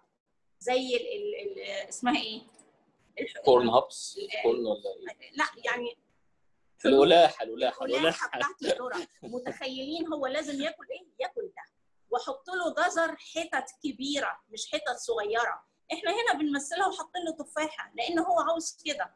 إذا ما كلش الحاجات دي مش هيحصل grinding لل teeth وهبص ألاقي الأنياب خرجت من داخل فكوكها فهنا أنا بحافظ على إن الأنياب تبقى inside its mouth الحاجة الثانية ساعة ما يبقى relaxed كده وبياخد حتة الجزر أو حتة التفاحة وبيقعد ياكل فيها يقرقط فيها زي ما إحنا بنتكلم تبص تلاقي ال eyeball بتاعه وهو بيمضغ في الحتت دي آه، رايحة وجاية كده كأنها يمين لا للأمام وللخلف. متخيلين شكله بيبقى إزاي؟ طبعا شكله بيبقى بيخوف. بس ده behavior مهم جدا اسمه teeth grinding يعني برد للأسنان. وأنا أحب أضيف بعد إذن حضرتك يا دكتوره اللي هو ال ال ال- ال- ال rodents laboratory rats و mice حاجة اسمها monophyodont monophyodontic دي يعني ما بيظهرش milky وبعد كده تحول لإيه؟ ل permanent لا هي على طول بتظهر permanent على طول. هي مرة واحدة بس كده وايه وخلاص. وعلى فكرة وال... لونها آه اللون برضه آه اللون برضه بيبقى اللون. أصفر على محمر. ده نتيجة لل pigmentation ونتيجة إن في بيحصل precipitation لل iron طب تفتكروا ليه إيه لازمة ال iron عشان يا جماعة هو ده اللي بيحميه من من ال cracking وال abrasion على إن لا السنه لا تتكسر ولا تتخدش يبقى هي كمان سنان آه، اسمها إيه؟ آه يعني. اسنان فيها حديد؟ مسلحة. مسلحة سنان مسلحة. تمام. ودي ال dentition آه دي دي ال dental formula بتاعتها. اثنين دي upper و lower وواحد incisor 003 اللي هي الايه اللي هي ال molars أو ال cheek اللي هي موجودين خالص. آه، هنيجي كمان هنا لعضو مهم جدا اللي هو ال tail. آه، فزتنا الدكتورة الفار- أمال. بعد إذن حضرتك أنا آسفة جدا على المقاطعة والدكتور إبراهيم حضرتك سامعاني؟ أيوه سامعاكي اتفضلي. هو المفترض إن ال meeting هيقفل الساعة 10 تمام. والساعة إيه، دلوقتي آه، 9 و45 دقيقة فلو حضرتك تسمح لنا إن إحنا نقف لحد كده ونكمل المرة الجاية عشان بس يكون في وقت ناخد الأسئلة؟ أو حضرتك طيب. تكملي اللي تشوفيه. اللي أنتوا شايفينه. طب لو في حد عنده أسئلة ولا طيب ماشي. طب هو يعني لازم لازم يقفل الساعة 10 في timing دي يا دكتور عبير ولا ممكن مثلا آه إحنا محددينه التايم إحنا محددينه من من 8 ل 10 إحنا بدأنا 8 وهيقفل علينا الساعة 10 آه، دكتور عبير آه، دكتور عبير أنا هطلب إن إحنا ناخد الربع ساعة دي ولو في أي سؤال بس يتحط لنا في الفيدباك حالا. بحيث إن إحنا ممكن نكمل المرة ممكن الجاية ممكن مظبوط لأن. محاضره المرة الجاية مش كبيرة لكن محاضره المرة دي إحنا ما وصلناش فعلا لنصها. تمام يا فاسمحي لنا تمام. ولا إيه؟ ممكن؟ تمام تمام. ال- يعني ال- الناس كلها على الشات بتقول حضرتك اتفضلي كملي اتفضلي يا دكتور. تمام تمام. لأن هو الشغل بتاع ال physiology وال behavior ممتع ومش هيبقى فيه يعني. والله وفي حل تاني يا دكتور عبير إن أنا ممكن مثلا أعمل أنا meeting من عندي من هنا وحضرتك تبعتي لي يبقى meeting free لمدة ساعة إلا ربع كمان. فأنتوا لو أنتوا يعني الزملاء يحبوا ما فيش مشكلة ممكن نعمل الموضوع ده. أي feedback يبعتوه دلوقتي وإحنا ه- هنعرض هنجاوب المرة هم اللي وصلنا إنهم مستمتعين جدا وبيطلبوا من حضرتك تكملي. اتفضلي. أشكرك. طيب.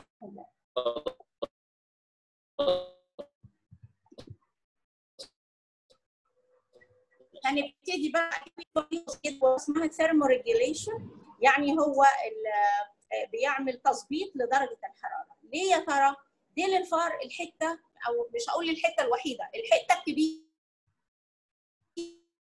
اللي ما فيهاش surface area وإحنا قبل كده قارناها بطول الجسم. فحتة كبيرة على الرغم إنها بتمثل 5% من ال surface area بتاعت الفار لكن هي بتمثل 17% من كمية ال heat اللي ممكن يحصل لها losing أو dissipation الديل زي ما إحنا شايفين مكون من ثلاث طبقات. الطبقة الصفراء اللي بره ده skin أو أو هاخده من جوه. اللي جوه اللي لونها أبيض ده ال bone اللي هو ال vertebral column بتاعته. okay؟ معايا؟ تمام. وحواليها اللي لونه رمادي ده ال tendon وبعدين في الآخر خالص هلاقي طبقة ال skin أنا يهمني في ال tendon هلاقي هنا ال blood vessels هلاقي بال- بالأزرق في عندي ال lateral فين واحد واحد مين عندي تحت اسمهم ثلاثة فين صغير وعندي اللي هو الفنترال ارتري وأنا بيهمني الفينز وبيهمني الارتري عشان بعد كده اما أجي اتكلم على البلاد سامبل أما هنيجي هنا آه، هكمل الثيرموريجيليشن هنا درجة الحرارة أما بترتفع ودي الرسمة اللي على الشمال زي ما إحنا شايفين أبص ألاقي حصل vasodilation اللي هم بالأزرق اللي أنتم شايفينه. okay؟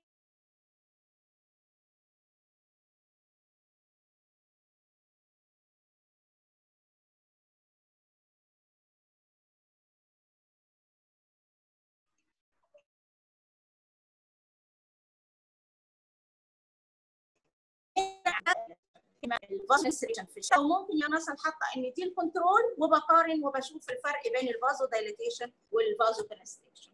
الجزء بعديه اللي هو الوظيفة بتاعه اللي هو على الحبال على على الماسورة والفار يعني لما هو بيمشي اللي ظابط وزنه هو ديله. الديل ده بتلاقيه يا إما رفعه كده في الجنب في أي ناحية من النواحي لأن هو ده زي بالظبط بتاع السيرك وهو ماشي على الحبل. دي مشية الفار. بس اللي مظبطه وماشي كده مرتاح الديل بتاعه. okay؟ يبقى ده الديل. هتكلم بقى على العين بتاعت الفأر. ال rat's eye ليها نفس ال basic and the function of all mammalian eyes. يعني especially أو human eye. لكن ال eye بتاعته هنا بتتحرك in opposite direction. والاقي كمان العين محطوطة على جانبي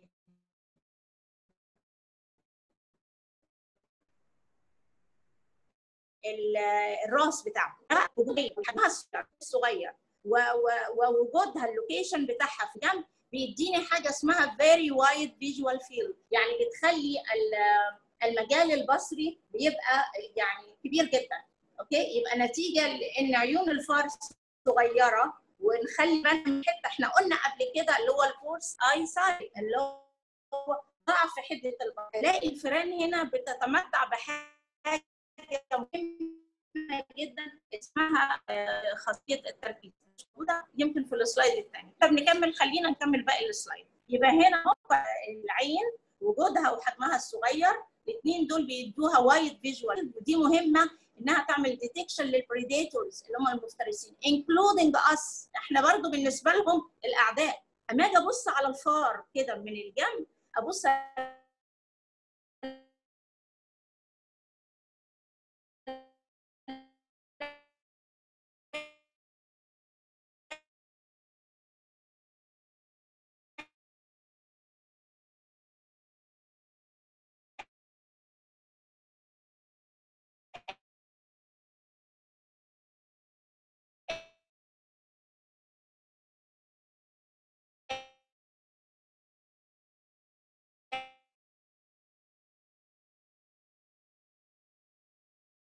تماما إيه، في يعني آه مختلف تماما في إيه؟ في الضوء اللي كنا بنتكلم عليه اللي هو ال dim light أو حتى أما بيبقى الضوء ال bright light. هبص ألاقي ال pupil زي ما إحنا عندنا بالظبط حجم ال pupil بيختلف. ساعة ما بحط قطرة يا جماعة لتوسيع حدقة العين هو ده اللي بيحصل.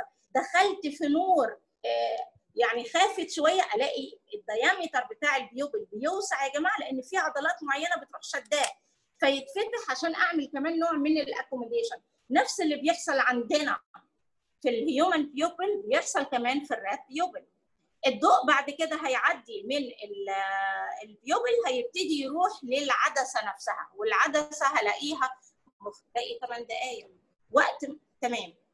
آه، العدسة بتاعت الفئران مختلفة جدا يا جماعة بتبقى كبيرة وكل ما الفار كبر في حجمه كل ما ألاقي حجم العدسة بيكبر طب يا ترى العدسة فايدتها إيه؟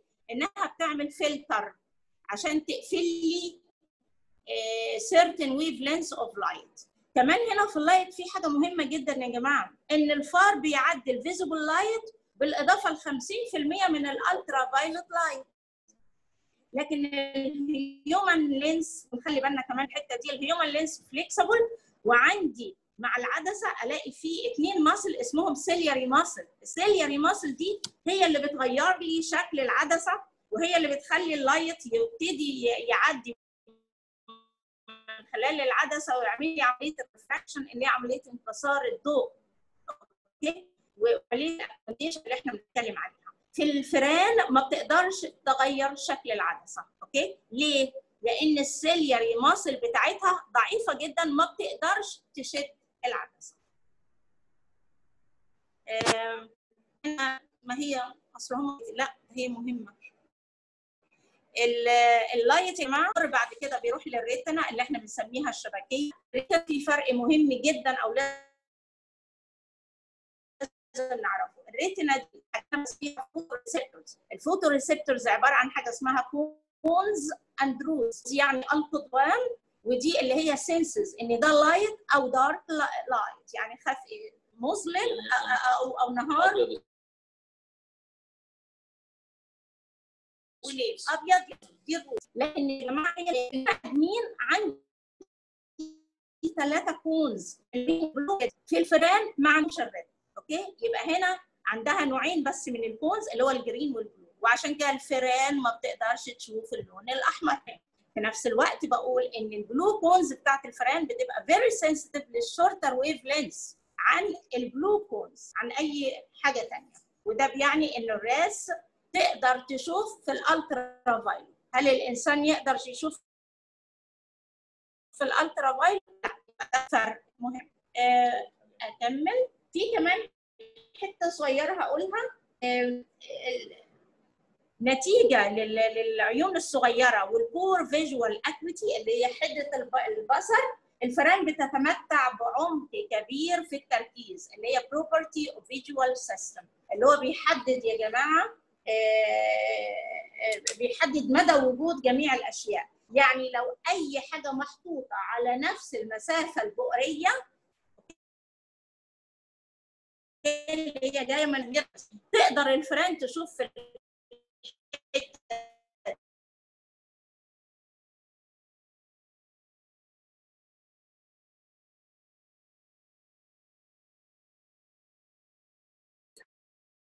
فده للكلام نتيجة ان اللون الأحمر. آه صح. عشان. تصبغ السراوندز كلها اللي حواليها باللون الأحمر فما. يقدرش يميز بين الألوان وبين بعضها وعشان كده فعلا لما بيحطوا الضوء الخافت dim red light صح. ضوء خافت أحمر. أحمر ضوء خافت أحمر. بصوا يا جماعة أهو على الشمال ادى ال rat eye وده ال human eye أول حاجة هتشوفوها العدسه ال lens. حجمها هنا بيبقى كبير حجمها هنا بيبقى هو نفس الحجم اللي إحنا كده وبيحصل لل accommodation نتيجة العضلة هنا اسمها ال ciliary muscle زي ما أنتم شايفينها ال ciliary muscle في الفئران بتبقى well not developed شوية فما مش قادرة تشد القصة دي. في نفس الوقت أهي ال retina واخدة برضو شكل كده معين عشان نبين إن هنا آه، يعني موضوع ال photoreceptors والقصة اللي إحنا بنتكلم عنها. آه، إحنا هنقف تحبي نقف لغاية كده يا دكتورة عبير؟ دكتورة عبير إيه؟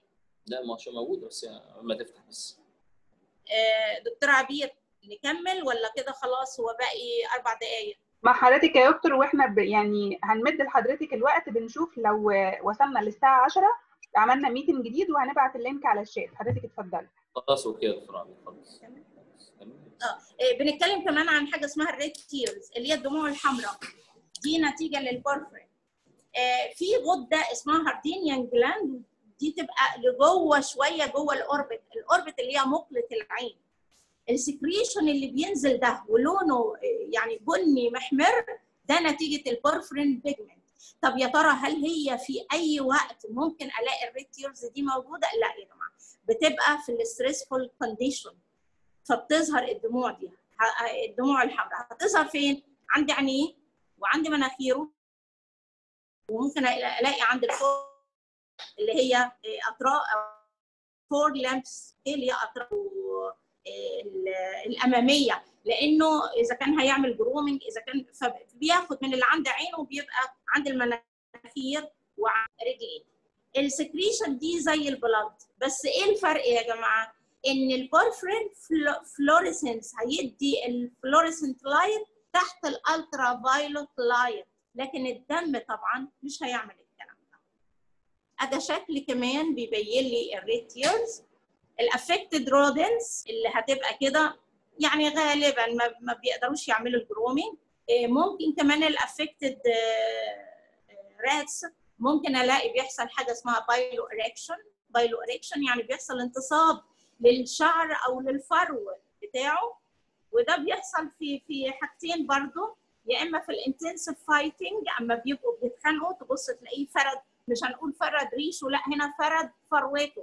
أو في الـ very cold weather وده بيبقى شكله بيدي spiky appearance طيب في الحاجة المميزة بقى قوي في الـ rats يا جماعة الـ very big testicles تحس إن في كورة كده ما بين رجليه الخلفيه ده ليه يا جماعة؟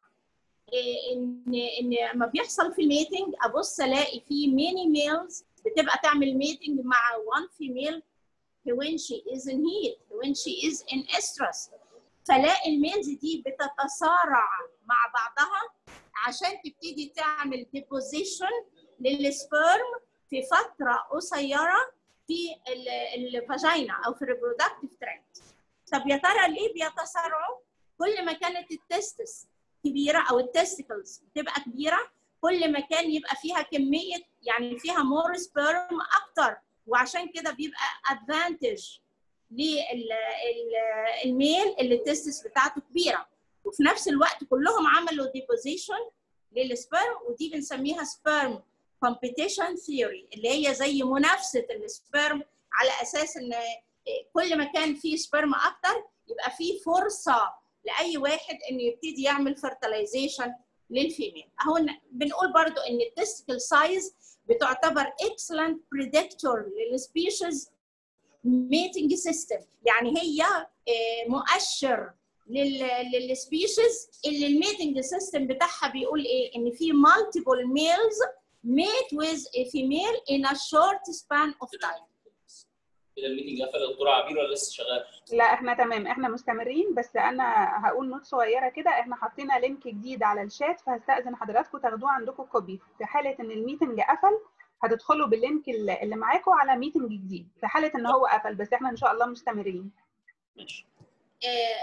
الـ species اللي هي بيبقى فيها one male بيعمل mating لـ one female ما بيبقاش فيه نظرية الـ sperm competition وبيبقى طبعا الـ testis مش هتبقى كبيرة زي الفئران هتبقى small testis الظاهرة دي على فكرة اسمها polyandry polyandry يعني only one female mated by more than males. طيب عندي هنا كمان هنتكلم why rats cannot vomit. ليه الفئران يا جماعة ما بترجعش؟ ما, ما بتعملش عملية التقيؤ؟ هي في حاجة إحنا بنعملها وكلنا بنعملها وبنعملها غلط. بنيجي بنقول نصوم الفئران قبل ما نبتدي ناخد منها عينات الدم عشان ما ترجعش. الفئران ما بترجعش خالص يبقى عملية الفاستنج ال 12 ساعة قبل عينات الدم وقبل كده دي خلاص بطلناها. بعد ما ابتدينا نشوف لو بصينا هنا لترتيب الأول رسمة كده على اهي تمام. هنلاقي يا جماعة كده الـ esophagus وبعدين دخلت على الـ stomach دي الجزء الأولاني ده في forestomach. وبعدين ألاقي حتة هنا أهو اسمها limiting ridge okay؟ بتفصل ما بين الجزء ده وما بين الجزء ده. يعني مجرد ما الأكل بينزل بيبتدي يتقفل عليه. باقي المعدة يبقى فيه هنا forestomach وبعدين في الـ ridge اللي اتكلمنا عليه وبعدين الـ corpus وبعدين الحتة الأخيرة اللي هو الـ pyloric sphincter اللي بيؤدي بعد كده على الـ duodenum بصوا بقى الرسمة برضو دي بتوريني أهو. الرسمة اللي هي إيه؟ بتوريني ده diagram بيبين لي الـ limiting ridge والـ esophageal opening ده وهو مفتوح وده وهو مقفول. إن مجرد ما الأكل خلاص دخل بتبتدي تعمل كأنها عاملة زي الفيونكة كده بالظبط وبتروح قافلة. فالأكل عمره ما هيرجع. هل لا. Have a powerful barrier ما بين الاستومك وما بين الاسوفاجس. They don't have esophageal muscle strength to overcome and open this barrier by force, which is necessary for vomiting. يعني إيه الكلام ده يا جماعة؟ هو إحنا أما بنيجي نرجع هوريكم كده رسمة بصوا كده يا جماعة ده اللي بيحصل في الإنسان إن بيبقى فيه نوع من الـ pressure فبيخلي الـ diaphragm يبقى فيه هنا ضغط على الـ diaphragm وفي ضغط جاي من الـ abdominal cavity بيضغط على الـ content بتاعت المعدة فتتفتح الـ esophageal opening دي اللي موجودة عشان في عضلات فتتفتح يروح الأكل يرجع على الـ esophagus ومنه على الفم وهينزل طب في الـ rat في إيه؟ قال لي لا مفيش الكلام ده خالص يبقى الـ rat إن في الـ barrier ده ما بين الـ stomach وما بين الـ esophagus وإن القوة بتاعت الـ esophageal muscle إنها تفتح أو تقفل أو يتضغط عليها عشان ترجع الأكل لفوق ما بيحصلش. طب الحاجة الثانية كمان الـ diaphragm. الـ muscle بتاعت الـ diaphragm contract independently يعني بتنقبض باستقلالية. الفيران بقى ما تقدرش ما عندهاش الـ activity ده هي إنها تخلي الانقباضة بتاعة الـ diaphragm تحصل عشان يضغط على يعني ما فيش القوة بتاعة الـ diaphragm اللي هيضغط على الـ content بتاعة الـ stomach وتخرج. الحاجة الثالثه بقى والمهمة جدا إن الـ vomiting center أو الـ neural connection جوه الـ brain stem وما بين الـ brain stem والـ viscera ما فيش coordination للـ muscle أو بمعنى أصح عايزة أقول إن يا جماعة ما فيش vomiting center في الفيران. فعشان كده الفيران ما بترجعش. الحاجة الأخيرة كمان إني بقول إن في more hepatic involved in detox than human and therefore the emetic reflex provide this advantage in this species. حتة ال liver والقصة دي أنا هقولها كمان شوية بس نبقى واخدين بالنا منها. هم دول الشويه هو هي إيه ميزة ال vomiting إحنا ليه بنرجع يا جماعة؟ يا إما حصل حاجة irritation من جوه ودخلت لي حاجة جوه المعدة فهيجت المعدة وابتديت أرجعها أكل مش كويس تسمم حاجة زي كده. أو مثلا آه، عموما يبقى القيء معناه إن أنا بيحصل لي purge لل body of substance معناه إن الجسم بيتخلص من المواد السامة. طيب ما هو كده الفيران؟ مش هتقدر تتخلص من المواد السامة. قال لي لا ده في استراتيجيات معينة عشان تقدر defend themselves against ال toxin أول استراتيجية يا جماعة اسمها super sensitive food يعني الفقتله وهو كده بيشم وبيعس بالليل. لو هو مش مش ما أكلش قبل كده مثلا طماطم وأنا حطيتها له قريب للمصيدة بتاعته. لو الأكل ده أول مرة يشوفه هيعمل إيه؟ هياخد منه حتة صغيرة وهيستنى على نفسه إن شاء الله 12 ساعة لو لقى نفسه معيش he doesn't be sick. ما بقاش يعني يعني he not يعني become sick. ما بقاش عيان okay لكن لو بقى عيان بعد ما كل الأكل ده هيتجنب الأكل ده in future. وده اللي إحنا بنسميه acute senses of smell and taste. للشم والريحة. يبقى أنا كده هيضاد ال toxicity بإيه يا جماعة؟ هيضاد ال toxicity بانه هيتجنب انه يأكل الأكل مجرد إن دقه مرة وعرف إن هو عي منه مش هياكله. طب الاستراتيجية الثانية اللي بيعملها اللي هو ال pica. الدكتور إبراهيم قالها قال لك ال pica إن هو ممكن non food materials أي حاجة خد particularly clay خد طين خد طمي خد أي حاجة مرمية حتة خشب ليه؟ لأنه هو حاسس بال nausea ان هو عايز يرجع يا جماعة. فما يحس بال nausea دي ومش هيعرف يرجع وقلنا للأسباب اللي فاتت هيعمل إيه؟ يروح واكل فالط... فال clay أو الطين يروح يشبك مع ال toxin في معدته فهيخفف ال effect بتاع ال toxin على جسمه يبقى إحنا كده عرفنا ليه الفيران يعني cannot vomit عشان إيه؟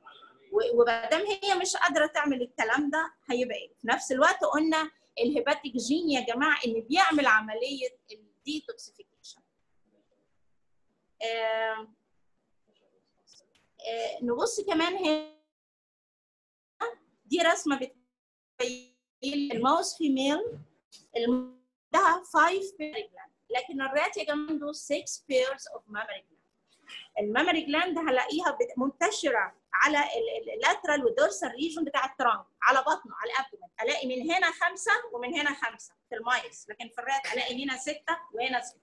طب عايز لا شكلك هو عايز تقول الدكتور الدكتور مصطفى قال لي إن إحنا معانا ساعتين كمان ومكملين ف... فكنت حابب بس أرجع لل slide اللي قبل كده. الجزء بتاع ال vomition ده آه. والجزء اللي هو بتاع ال super sensitive food avoidance learning ده نوع من أنواع ال mechanism of learning في ال rodents عموما. إن هو لو حصل وإن الفار مثلا أو أي rodents كل material معينة ولقى إن ال material دي بتعمل له GIT troubles أي نوع من أنواع ال GIT troubles irritation في ال stomach أو diarrhea أو أي حاجة لأن هو في ال consecutive chances أو trials بيبطل إن هو يأكل ال material دي. يعني بيحصل كده لأن من غير نوع نوع ال learning يمكن معظم أنواع ال learning لازم يكون فيه إيه يعني واحد بيعلم حد والتاني متلقي منه بيتعلم منه. لا دي الحاجة الوحيدة اللي بيحصل فيها ال learning بس by himself يعني أو يعني ال animal بيتعلم مثلا نتيجة لل troubles اللي بتحصل في ال GIT وال stomach وده يمكن نلاحظه حتى في موضوع المصايد وموضوع السم والكلام ده. نلاقي مثلا السم بيجيب effects في أول مثلا إيه يوم يومين. فار يموت فارين يموتوا وبتاع.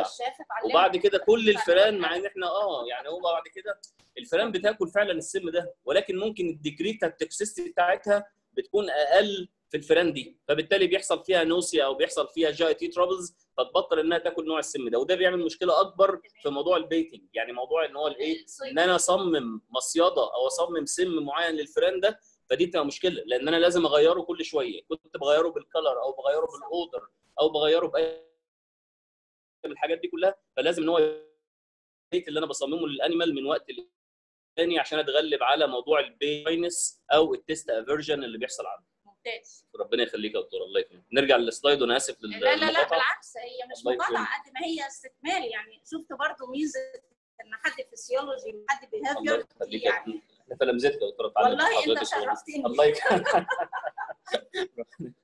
آه، إحنا كده اتكلمنا على ال mammary gland طب تعالوا بقى لل vertebral formula هي يعني ال vertebral column اللي خدناها في ال mammals إيه، قد إيه يا جماعة؟ كلنا عارفين إن 31 vertebrae طيب. إيه، يا ترى الفقرات العنقية اللي في الفار واللي في الزرافة واللي في ال human being كام يا جماعة؟ سبعة. يبقى الفار عنده سبعه cervical والزرافة عندها سبعه cervical والبني آدمين عندهم سبعه cervical وعندهم 13 thoracic نفس القصة. وعندها ستة lumbar وعندها لكن الكتير دي يبقى 28 caudal اللي إحنا بنسميهم ال coccygeal يا جماعة واللي هي بتبقى كلها مشبوكة كده حتة آه، مع بعضها في ال human being أو في ال other animal هنا ب... وعلى فكرة برضه هيختلف على حسب ال strain يعني ممكن ال strain اللي هو الديل الطويل اللي إحنا كنا اتكلمنا عليه مثلا في ال... في ال Sprague Dawley غير ال Wistar ألاقي برضه ما يبقوش 28 في في strain بتوصل لحاجة و30 ال caudal بس. طيب آه ندخل بعد كده على ال liver. ال liver مكون من أربعة lobe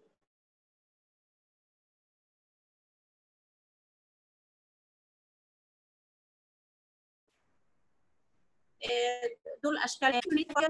يعني لو أنا برضو شلت فص من ال- الليفر هلاقي برضو يقدر يحصل له regeneration نخلي بقى بالنا من نقطة مهمة جدا ال rat ما فيهاش gall bladder لكن ال mice ليها gall bladder يبقى دي نقطة مهمة جدا لأن كتير مننا ما يعرفش إن ال rat ملوش gall bladder طب يا ترى بقى اللي ملوش gall bladder هل هيفرز bile ولا مش هيفرز bile؟ آه طبعا هيفرز bile. هي أصلا فايدة ال gall bladder إيه؟ فايدتها إنها بتعمل concentration لل bile اللي موجود. لكن ال bile هتتفرز وهتمشي مباشرة في ال bile ومنه على أول حتة تمام؟ small intestine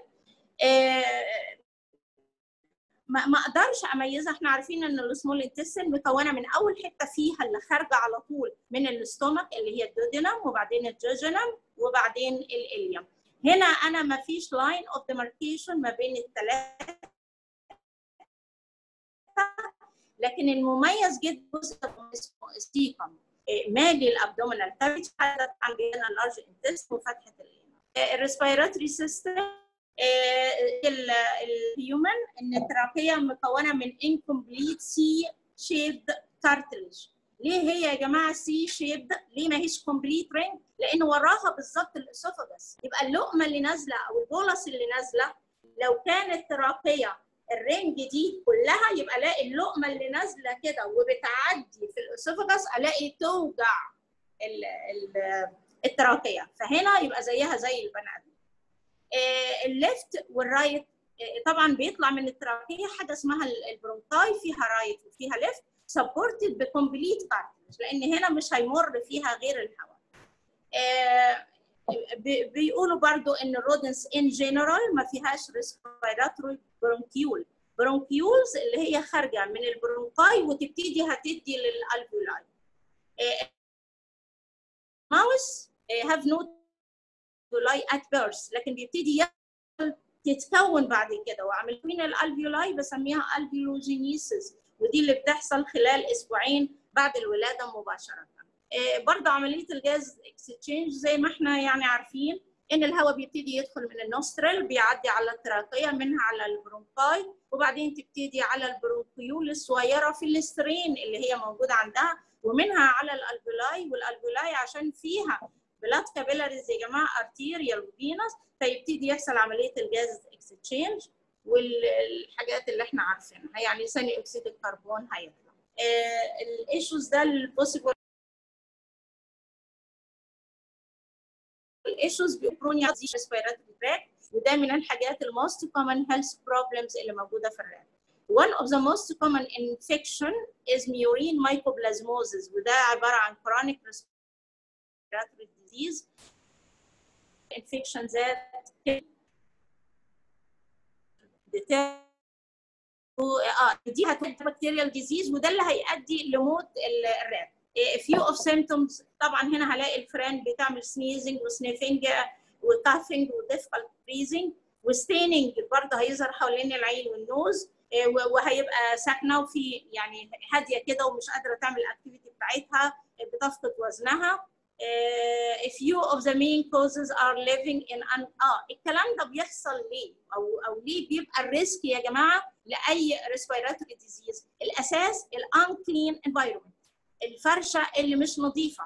إحنا قلنا الفرشة دي هننضفها أو هنشيلها مرة في الأسبوع إذا لم يستدعي الأمر هسيبها لكن نفترض إن نزل عليها مية أو حاجة. إيه، برضو لو في فار infected يبقى برضو أي contact مع ال infected rat أو كونتاكت مع أي ايربورن دي حاجات إحنا برضو مقارنات آه، بسيطة ما بين ال rat وال mouse واخدة من أول ال estrous cycle وال sexual maturity إمتى وال life span وال sexing وال gestation period ودي نخلي بالنا منها إنها في ال rat آه، 21 يوم قد تمتد ل 23 يوم يعني أكبر من ال mice. ال mice بيبقى من 19 ل 21 وأقل من 19 ال sexing يا جماعة ال anogenital وال mammary وقد إيه وفي أنهي يوم. آه، يعني آه آه، ال euthanasia يا جماعة كلمة الكلوروفورم دي معلش هنشيلها لأن أنا ما ينفعش أعمل euthanasia لأن بقى دي حاجات forbidden ال chloroform وال ether لأنه بيعمل liver cirrhosis أنا سايباها لكم بالأحمر عشان المرة الجاية تقولوا لي عرفتوا تلاقوا أو أنتوا بتخدروا بإيه لأن ده يهمني سواء ال anesthesia أو ال euthanasia. آه، هعمل القتل الرحيم بإيه؟ ال chloroform وال ether بقى خلاص forbidden يعني it is illegal إنه يستخدم. إيه، مش عارفة هل نقدر نقف عند ال sexing ولا الدكتور إبراهيم يكمل؟ يكمل لا؟ اللي حضرتك فيها دكتور أنا بس الفكرة كلها إن أنا خايف بس يكونوا الزملاء وال يعني ال- الناس بس زهقت من كتر إيه ما إحنا قاعدين نتكلم. بقى لنا ساعتين ساعتين وشوية بنتكلم. فهل مثلا ممكن ناخد معانا برضو ممكن ناخد معانا ال sexing okay. آه، ممكن ناخد معانا ال sexing ولا كفاية كده النهارده ونكمل آه، الأجزاء اللي جاية مثلا في المحاضرة الجاية؟ يعني هو اللي ظاهر قدامنا. على الشات إن ال feedback أكتر من رائع والناس مستمتعة جدا بالمحاضرة وهم برضو سامعين حضراتكم دلوقتي يدونا feedback نكمل ولا نقف؟ طب والنبي يا جماعة اللي زهقان مننا بس يقول للدكتوره عبير عشان إيه يعني عشان ما فيهاش يسوف يعني. يعني بالعكس بالعكس. كل ال feedbacks اللي جاية دلوقتي حالا بتقول لحضراتكم إنهم مستمتعين جدا وتفضلوا كملوا. طيب okay. اتفضل. طيب ربنا يخليك يا دكتور. طيب بالنسبة لل sexing ال sexing سواء كان في ال rat أو بالنسبة لل mice أنا يعني يعني هي الحرفنة كلها ال sexing في العمر الصغير. إنما بالنسبة للعمر الكبير بيبقى واضح يعني آه ال testicles موجودة يبقى ده male اللي مش موجودة يبقى دي إيه؟ يبقى ده female فال sexing عندنا بنعتمد فيه أو ال mammary gland آه يعني إحنا بنعتمد على ال sexing primarily مثلا ممكن حتى والله في ناس بتجيبها من أول يوم أو من أول يومين. بيعتمد عليها على حاجتين. الحاجة الأولانية ال anogenital distance ال anogenital distance دي من أول يوم اللي هي المسافة بين ال genital papilla اللي هي موجودة وال anus اللي هي ده ده ال anogenital distance دي بتكون greater أو كبيرة في حالة ال male وصغيرة في حالة الإيه؟ في حالة ال female. بعد فترة بعد كده آه، ممكن يبان مثلا بعد عمر 10 أيام تقريبا يعني بتبدأ تبان ال mammary glands أو تبدأ تبان ال nipples موجودة في ال female فممكن نستخدمها برضو في ال sexing. عند بقى ال puberty مثلا وده تفرق برضو بين ال rat ال mice وحسب الوزن بتاعهم والكلام ده كله ممكن مثلا في الأعمار بقى المتأخرة تبدأ تكون واضحة وبالتالي بقول ده أو ده إيه أو ده female إنما اساسي أساسي من أول عمر يوم لا ال anogenital distance هي اللي بتوضح لي الفرق بين ال male وبين الايه وبين ال female زي ما إحنا شايفين هنا في الصور اللي موجودة ال anogenital distance هنا wide في الصورة اللي موجودة دي كبيرة أما في الصورة الصغيرة فال anogenital distance بتكون صغيرة فأقدر أفرق بين ال male وبين ال female عن طريق ال ano إيه ال anogenital distance كمان هنا هنا ده female يا جماعة ال cervical open نلاحظ برضو هتبقى في يعني أنا يهمني بقت mature ولا immature لو هي closed cervical opening يا جماعة بقت immature وده يهمني لأن إحنا بنلاحظ إن في ناس بتشتغل على الفيران وما تعرفش هي. وصلت ل mature ولا immature فنبقى واخدين بالنا من الحاجات دي كويس جدا.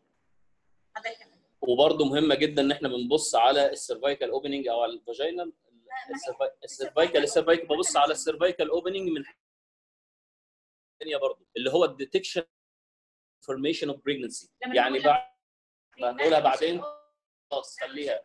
أنا أنا بدخل. آه، pipette بلاستيك بلاستيك pipette وباخد نقطة كده بسيطة مثلا من saline أو distilled water وبعمل لها pumping في ال cervical opening وبقعد كده أعمل لها lubrication عشان أسحب ال cervical secretion واشوفه تحت الميكروسكوب. لو لقيت cervical plug ودي بتبقى عاملة زي شبكة كده اهو. وبلاقي ال sperm تمام. يبقى بعرف it is the first day of pregnancy. هو في بعض بعض ال species ممكن مثلا غير ال غير ال rodents أو مثلا غير ال laboratory أو ال mice. بتبقى ال cervical plug بتقفل فتحة ال vaginal orifice بعد أو ال cervical plug بعد ال بعد ال mating على طول أو بعد ال copulation على طول. ودي indicator إن حصل فعلا successful mating أو أو أو pregnancy دي برضو صور على الايه على ال على ال comparison بين ال male وبين ال female من ناحية ال anogenital distance. طبعا واضحة قوي في الصورة دي.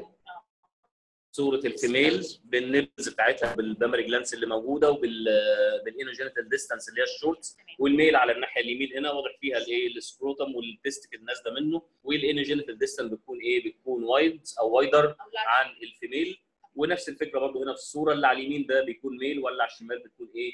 بتكون female طيب بالنسبة لل newborn بقى آه، ال gestation المفروض إن هي ال slide دي بس إحنا ما كناش ال presentation اتعمل آه قبل ما لحقنا نزلناه ال- ال newborn أو إن أنا لا- الايجنج في ال laboratory rodents عموما بيعتمد على ال phenotypic changes اللي أنا بلاحظها على ال animals بعد عملية الولاده يعني مثلا من أول يوم لحد مثلا 21 يوم ولا لحد شهر ده اللي هي فترة ال weaning بتاعتي. فأنا بلاقي إن في changes بتحصل كل مثلا خمس أيام أو كل 10 أيام زي ما إحنا هنشوف مع بعض.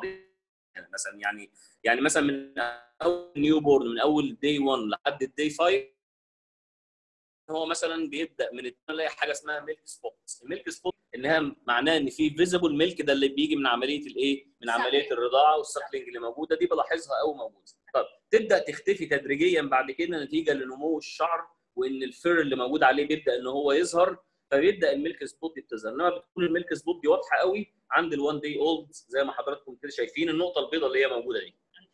في ال stomach. بس بس ما فيش pointer للأسف عشان مش شغالين ب PowerPoint موجودة هنا أوضح قوي. آه. موجودة هنا. طب كل ما الأيام تعدي في العمر آه. لازم برضه يعني. آه، إحنا اتفقنا إن ودنه يا جماعة ودنه وعينه مقفولين والودن تلاقي ال ear flap كأنها لازقة كده على في راسه على طول أوكي؟ آه، وبلاقي ال spot. هنا بقى تبدأ إنها تبقى erected بقى عند اليوم الرابع. أيوه. في اليوم الثالث كمان هي بتبتدي تظهر آه. أوكي. وبلاقي كمان آه، طول ما هم صغيرين يا دكتور عمر يوم وعمر يومين تلاقي لونهم pinky قوي صح صح. لكن لما بتلاقي عند اليوم الثالث تبص تلاقي لونهم بيبتدي بقى إيه يغمق شوية آه يغمق شوية. أو يبيض شوية مثلا عشان الشعر. أو آه بالظبط تمام حلو. جدا إيه، في fuzzy أهو fuzzy dorsal rough أهو إيه، fur ابتدى شعر كده زي الزغب كده اسمه تمام هو. ده يعني الدكتوره امال مشكوره والله مدينا ال material عشان. نشتغل بيها. فهي يعني إيه يعني يعني هي ده ممكن يبقى guide لينا إحنا وإحنا شغالين مثلا آه في في الشغل آه يعني. لازم ده آه. يبقى لنا guide يا جماعة عشان يبقى لو دخلت في أي وقت معمل وعايزة أعرف male ولا female وعمرهم قد إيه دي معلومات حلوة لازم إنما مثلا لو هم عندي وعندي record ليهم فأنا بعرف مثلا إن هم آه ال parturition حصلت يوم كذا يبقى اليوم الأول كان النهارده بكرة اليوم الثاني وهكذا. ما هو الشاطر بقى آه، اللي يدخل على حد. يجي يقول له الفرن دي عمرها خمس أيام أو أنا خلاص بقيت professional في الراجل هناخد بقى اليوم السادس آه، اليوم؟ السادس والعاشر يبدا بقى يحصل بعض ال changes يبدا آه يبدأ ال fur يحصل له جروس ويبدأ إن هو ال thicker وال وال belly تبدأ إنها تتغطى. يعني كان قبل كده الدكتوره أمال مشكورة قالت إن إيه ال dorsal fur بيبدأ إن هو يظهر عند اليوم الخامس. لا بعد كده بيبدأ بقى إيه يبدأ لا يتغطى من ال belly من تحت. ال- fur لا لا مفيش حاجة ال fur بيبدأ إن هو بعد كده يبقى thicker وبعدين بيبدأ يحصل complete growth لل fur عنده عمر قد إيه؟ عنده 10 عمر أيام. 10 أيام طيب نكمل مع بعض بقى من اليوم ال 11 لليوم ال 28 بعد 4 weeks بيحصل ال weaning وايه وممكن إنك تعزل الفئران دي وتوديها في كيدج ثانية بعيد عن أمها آه ال teeth بتبدا تظهر عند اليوم ال 11 ودي مهمة قوي لأنه بيبدأ ساعتها بقى يبدأ يعمل nibble nibble يعني بيبدأ إيه ينقنق بقى في الأكل اللي موجود في الكيدج اللي هو الإيه زيه زي الإيه زي الفئران اللي هي الكبيرة اللي موجودة. وال eyes بتبدأ إنها تحصل لها open برضو عند اليوم الإيه؟ عند اليوم ال 11 الجروس هنا بيبدأ سريع. يعني يعني مثلا إيه؟ من اليوم للأول لليوم العاشر الجروس بيبقى مجرد إن هو نمو للشعر الكلام ده كله إنما بعد كده بيبدا يفرد بقى ويبدأ إن هو يوصل لل mature size أو لل size اللي بيحصل عند إيه؟ عند عملية الإيه؟ ال- weaning ال weaning بيحصل عند 21 يوم وبعد كده عند 28 يوم أنا ممكن بعد كده يبدأ ياخد الإيه؟ ال final shape بتاعي. إن كان آه زي ال adult بالظبط بس على أصغر بقى يعني ما بيوصلش للوزن الأصغر ال adult عند عمر 28 يوم بيوصل عند عمر شهرين أو عمر إيه؟ ما دام انت آه. وصلت ل 28 يوم يا دكتور عايزة أقول لك لما تيجي تشتري الفئران اشتريها وهي عندها أربع أسابيع بالظبط اللي هم ليه يا جماعة؟ هي لسه زي ما إحنا بنقول قطط مغمضة لأن يا دوبك كانت لسه مفتحة عند اليوم اللي كذا و... و... ولسه فريندلي و... و... و... و... وعندها ظاهرة ال- الفضول والقصة دي فالعمر ده أروح أشتري الفار في العمر ده حتى لو أنا هشتغل عليه mature لا اعمل له purchasing اشتريه عند الفترة دي واعمل له ال acclimation وربيه عندك لغاية ما يتعود عليك ويشم ريحتك وانت بتحطه في القفص. ادخل على نوع تاني من ال lab animal اللي هو طيب ال- hamster ال hamster ده اللي هو. الايه ال little devil ده بقى ده ده العفريت ده بتاع ال laboratory animals ده بيقعد يتنطط في القفص ويجيب له آه الشيطان فرخ الشيطان.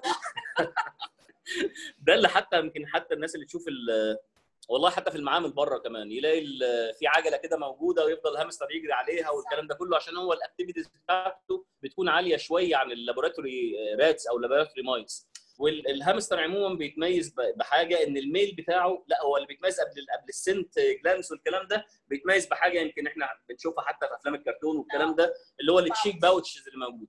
ال cheek pouch mainly إنها بتخزن الأكل. يمكن أنا بس لو الدكتوره امال تسمح لي بس أنا معايا ساعتين أوريكم فيديو على اليوتيوب بيبين فيها ال cheek pouch دي بتخزن أكل قد إيه. أنا كنت وريتها لل- للطلبه بس للأسف نسيت إن أنا إيه ا save ها عندي.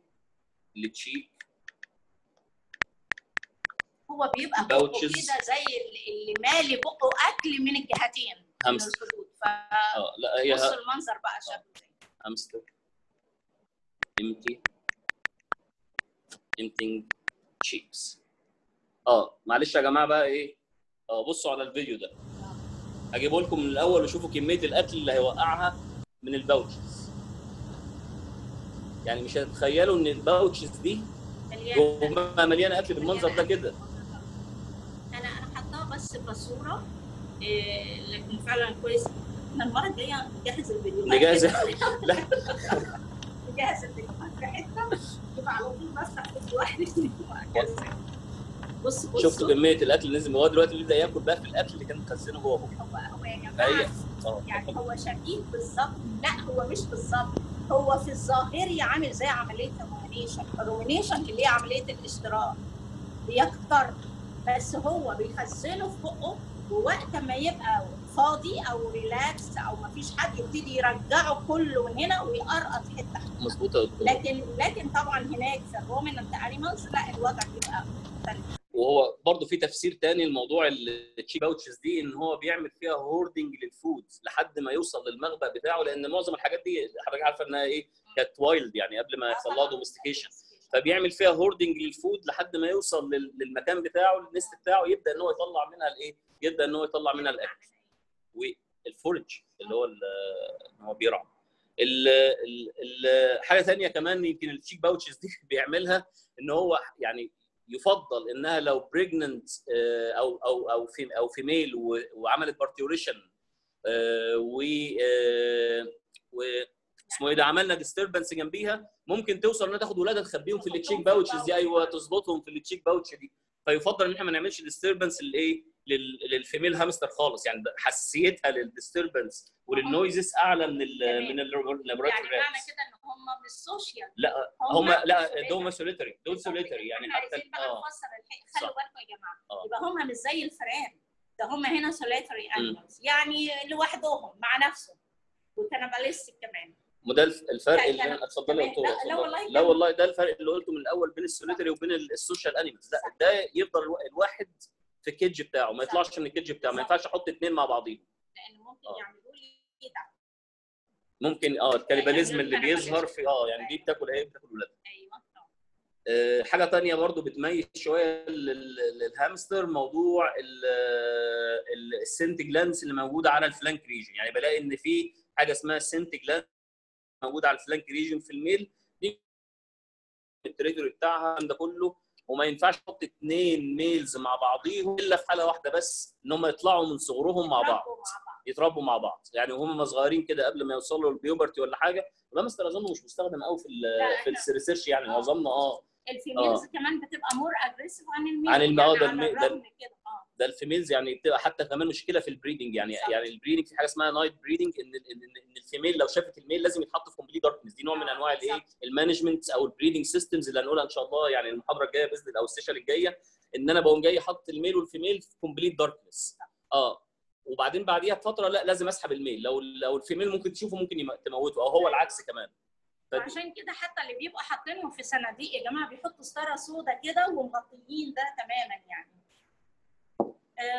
بس فهندخل بعد كده آه. على حاجة ثانية مثلا naturally found مثلا الايه آه آه، هو ده اللي أنا بقول لحضرتك. pouch شكلها آه أيوة، cheek pouch. وهنا كمان هتلاقيها في في الثانية. ولامن فيها أكل ولامن فيها مناديل ورق. يعني بشع فعلا. بس فهي موجودة حتى كمان عندنا في سينا يعني موجودة في سينا وصحراء النقب في إسرائيل وبرضه موجود فيه hamsters. آه. هي من السكان الأصليين يعني تمام. وأشهر واحد فيهم اللي هو ال Syrian hamster اللي هو يعني إيه يعني آه. ده أنواع ده ال Syrian وأنواع ثانية منهم صح. ال Chinese والإيه وال winter white وال Robo مش عارفة آه إيه. وال Campbell ودي أنواع مختلفة موجودة. ال guinea pig ال guinea pig دي بقى دي الايه الباشا بتاعت ال laboratory animal أيوة. دي بقى طيبة وهادية بصراحة يعني. أنا بحبها أهي ناخد ال characteristic هي ال characteristic أهم حاجة فيها إنها طيبة وغلبانة لا. بتعض ولا بتعمل scratch ولا biting ولا أي حاجة صح. وما بتنطش يعني أنت مثلا لو سبت الكيدج مفتوح منه فبيبقى لما تيجي تعمل آه، يعني مش عايز أقولها بس المرة الجاية دلوقتي الكيدج إن هو صندوق ارتفاعه حوالي 30 سم ومالوش غطا يعني ما بحطلوش غطا يعني ده مجرد اللي هو الإيه؟ وفيها بس مشكلة عندنا في شوية التربية بتاعتها شوية إن لازم ما, ما, ما بتعرفش تعمل endogenous vitamin C ماشي. ما- في كمان هي مهمة قوي إنها very susceptible لل infection و highly sensitive لل action of many drug بالذات البنسلين زي ما إحنا قلنا المرة اللي فاتت. اتفقنا آه. لأن مع- امعائها فيها gram positive بتقدرش تكون vitamin C زي ما حضرتك قلت وعشان كده لازم في ال diet بتاعتها أبقى حاطة vitamin C some isolated muscle preparation أقدر أستخدمها لو هقدر هاخد ال- العضلات والحاجات اللي زي كده